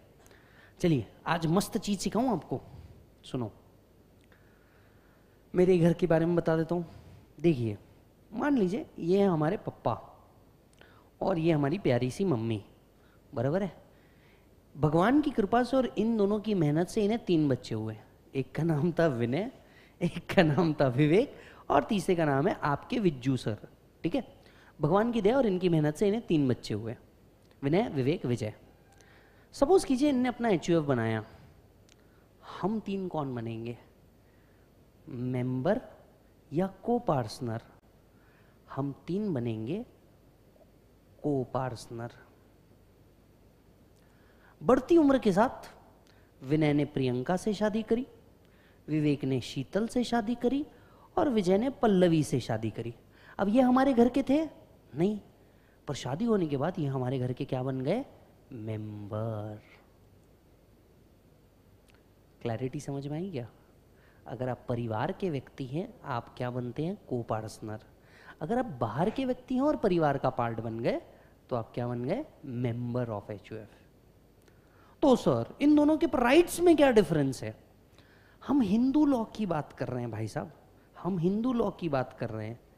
हिंदू लॉ में coparcener can demand a partition member can demand a partition section 174 पढ़ेंगे हम पार्टीशन ऑफ़ एच से रिलेटेड तब ये पॉइंट फिर से डिस्कस होगा। हम हिंदू लॉ में हैं। हिंदू लॉ के अंदर में हमारे घर की मर्यादाएँ सिनाई, सिखाई गई है। सनातन धर्म के अंदर में सिखाया गया है। जनरली बहुएँ बहस नहीं करती, वो घर के मैटर्स में पड़ती नहीं।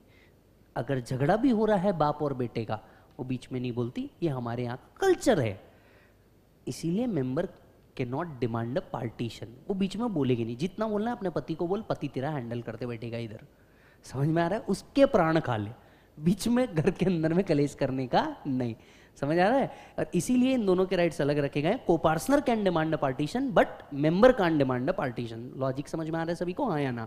तो आज अपने दोस्तों से ज़रूर पूछिएगा, अगर वो भी डायरेक्ट टैक्स की क्लास कर रहे होंगे, क्या मेंबर एंड को सेम है क्या? नहीं सर दोनों अलग है, दोनों के राइट्स अलग है। Only co can demand a partition एक सवाल और आया मेरे मन में।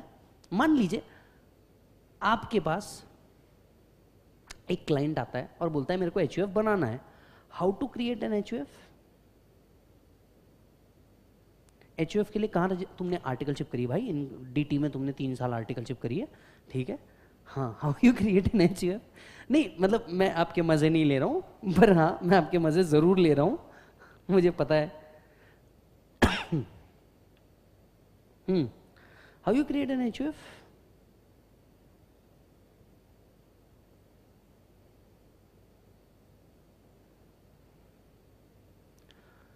तो जवाब इसका आपको भी नहीं बताया। बहुत बढ़िया, सुनिए। एचयूएफ क्रिएट होता है seven time ringa ringa roses से। कैसे शुरू होता है? Seven time ringa ringa roses से। सर मतलब शादी शादी के साथ फेरे। एचयूएफ मैरिज से स्टार्ट होता है। आपने जो बचपन में पढ़ा है, वो गलत है। सर, क्या बात कर रहे हो? गलत बोल रहे हो आप? हंड्रेड परसेंट गलत है। क्योंकि पहली बार जब मैंने भी इसको समझा तो मेरे को समझ में आ गया, जो इलेवेंथ में मुझे एचयूएफ बताया गया ये वैसे वर्क नहीं करता।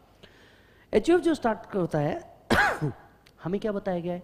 एक ओल्ड बिज़नेस होता है, ठीक है? फिर मेंबर इसका पार्ट बन जाते हैं फिर एक करता होता है, घर का बूढ़ा व्यक्ति, इस तरीके की चीज़ें हमें दिखाई गई है। कुछ मिनट्स आपके बहुत क्लियर कर दूँ। ज़रूरी नहीं घर का बूढ़ा व्यक्ति ही करता हो। वो अपना ये पावर किसी यंग व्यक्ति को दे सकता है और बोल सकता है, अब मैं सांसारिक मोह से बाहर हूँ, अब अपन राम नाम जपेंगे।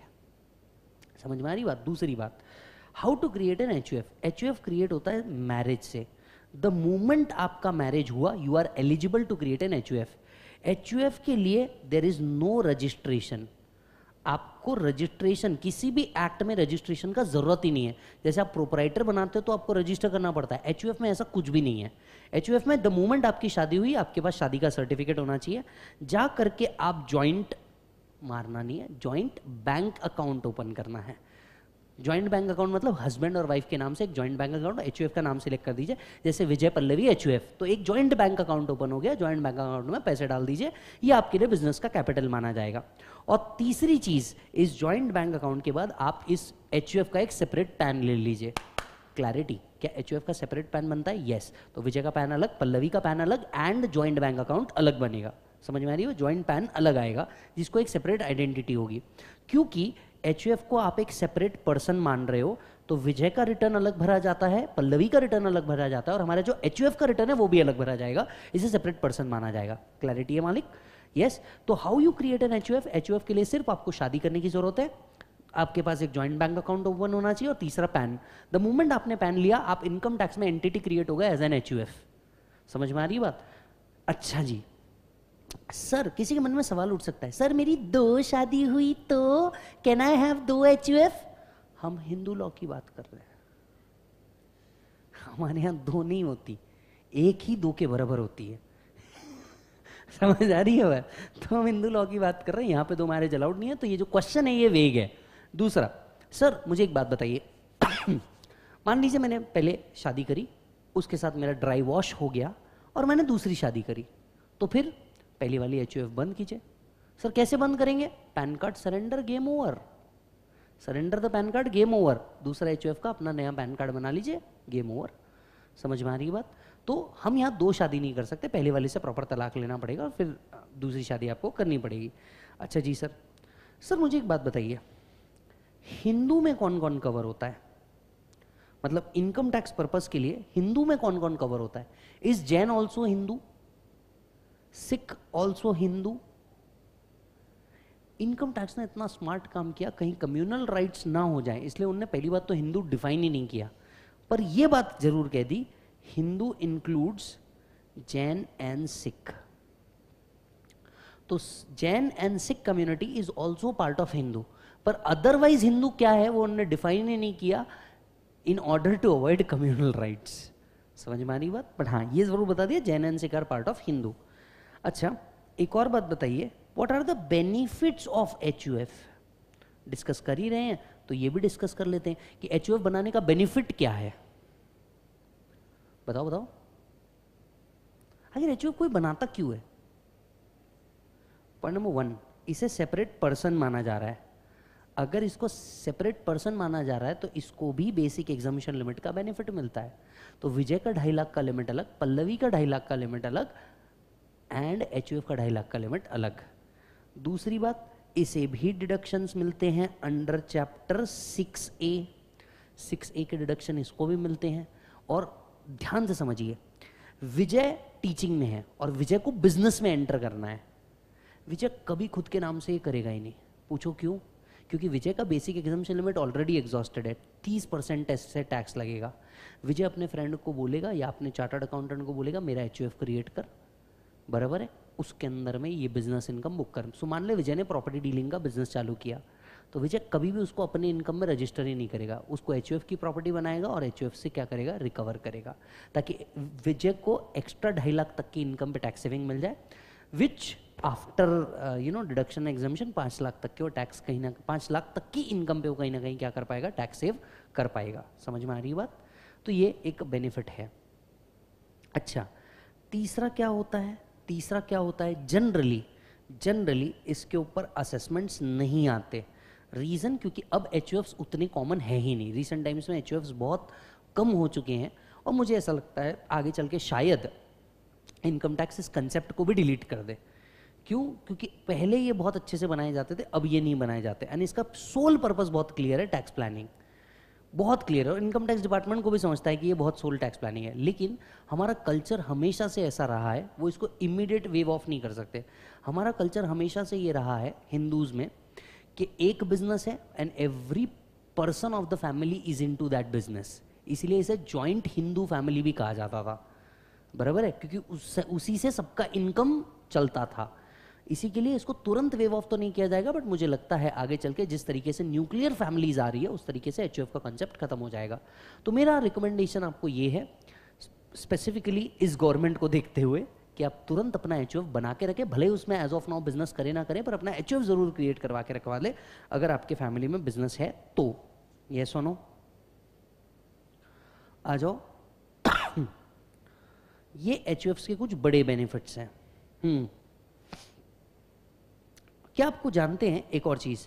There are two schools of H U F इस सब में आपका बेसिक सभी क्लियर कर रहा हूँ, ताकि बाद में जाके हम सिर्फ़ टैक्सेशन पर डिस्कस करें। हाँ there are two schools of Hindus अगर आप हिंदू हैं, आप मुस्लिम भी हैं तो जनरल नॉलेज रखिए। आप कोई और क्रिश्चियन या अदर कम्युनिटी से आते हैं जनरल नॉलेज रखिए। बट अगर आप हिंदू हैं तो मैं आपको ये जानना ही चाहता हूँ कि what are the two schools of Hindu law पढ़ा है आपने, ये भी बता दूँ। Two schools of Hindu law? Anyone?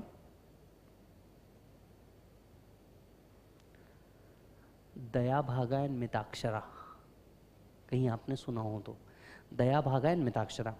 The Daya Bhaga school of Hindu law there are two thoughts Daya Bhaga school of Hindu law ये waste Bengal में applicable है and Mitakshara school of Hindu law ये whole of India में applicable है।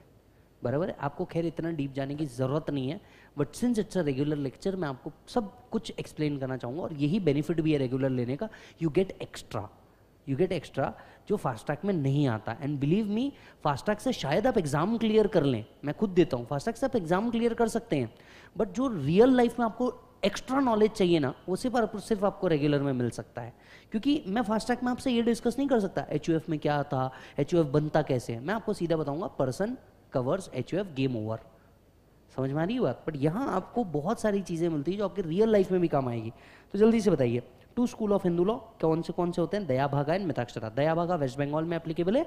मिताक्षरा जो है ये किसमें एप्लीकेबल है? होल ऑफ़ इंडिया में। दोनों के बीच में प्रिंसिपल डिफरेंस क्या है? दोनों के बीच में प्रिंसिपल डिफरेंस ये है coparcener can demand partition at what time इस बारे में दोनों के स्कूल ऑफ़ थॉट्स अलग अलग है ये सोनो हमें उतना डीप जाने की ज़रूरत नहीं। We just need to understand H U F is a separate person and created HUF from Daya Bhaga और Mitakshara does not make any difference in income tax clear है? आप कहीं से भी आते हो because the act is applicable to whole of India firm includes LLP आज का last discussion firm includes LLP except for the purpose of section 44 AD 44 AD है. 44 एडी ये आपने ऑफ़िस में डेफिनेटली यूज़ किया होगा. वो 8 परसेंट सिक्स परसेंट वाला, इसमें फर्म्स के लिए ये एप्लीकेबल नहीं है राइट right? दूसरा 44 एडी है प्रोफेशनल्स के लिए जो प्रिजम्पटिव इनकम है, उसमें 44 AD you know L L cover नहीं होते। उसमें क्लियर कट इंडिविजुअल कवर होते हैं एच कवर होते हैं फर्म कवर होता है। एल एल कवर नहीं होते। सो so, पूरे इनकम टैक्स के लिए जहाँ जहाँ पे भी वर्ड आएगा फर्म वहाँ वहाँ पे एल एल वर्ड कन्फर्म आएगा। पर दो सेक्शन में एल एल इंक्लूड नहीं होगा फर्म में वो है 44 एडी 44 एडी है। वापस से सुनिए। पूरे इनकम टैक्स में जहाँ जहाँ पे भी फर्म आया बाई डिफ़ॉल्ट में आप एलएलपी को ध्यान में रखिएगा।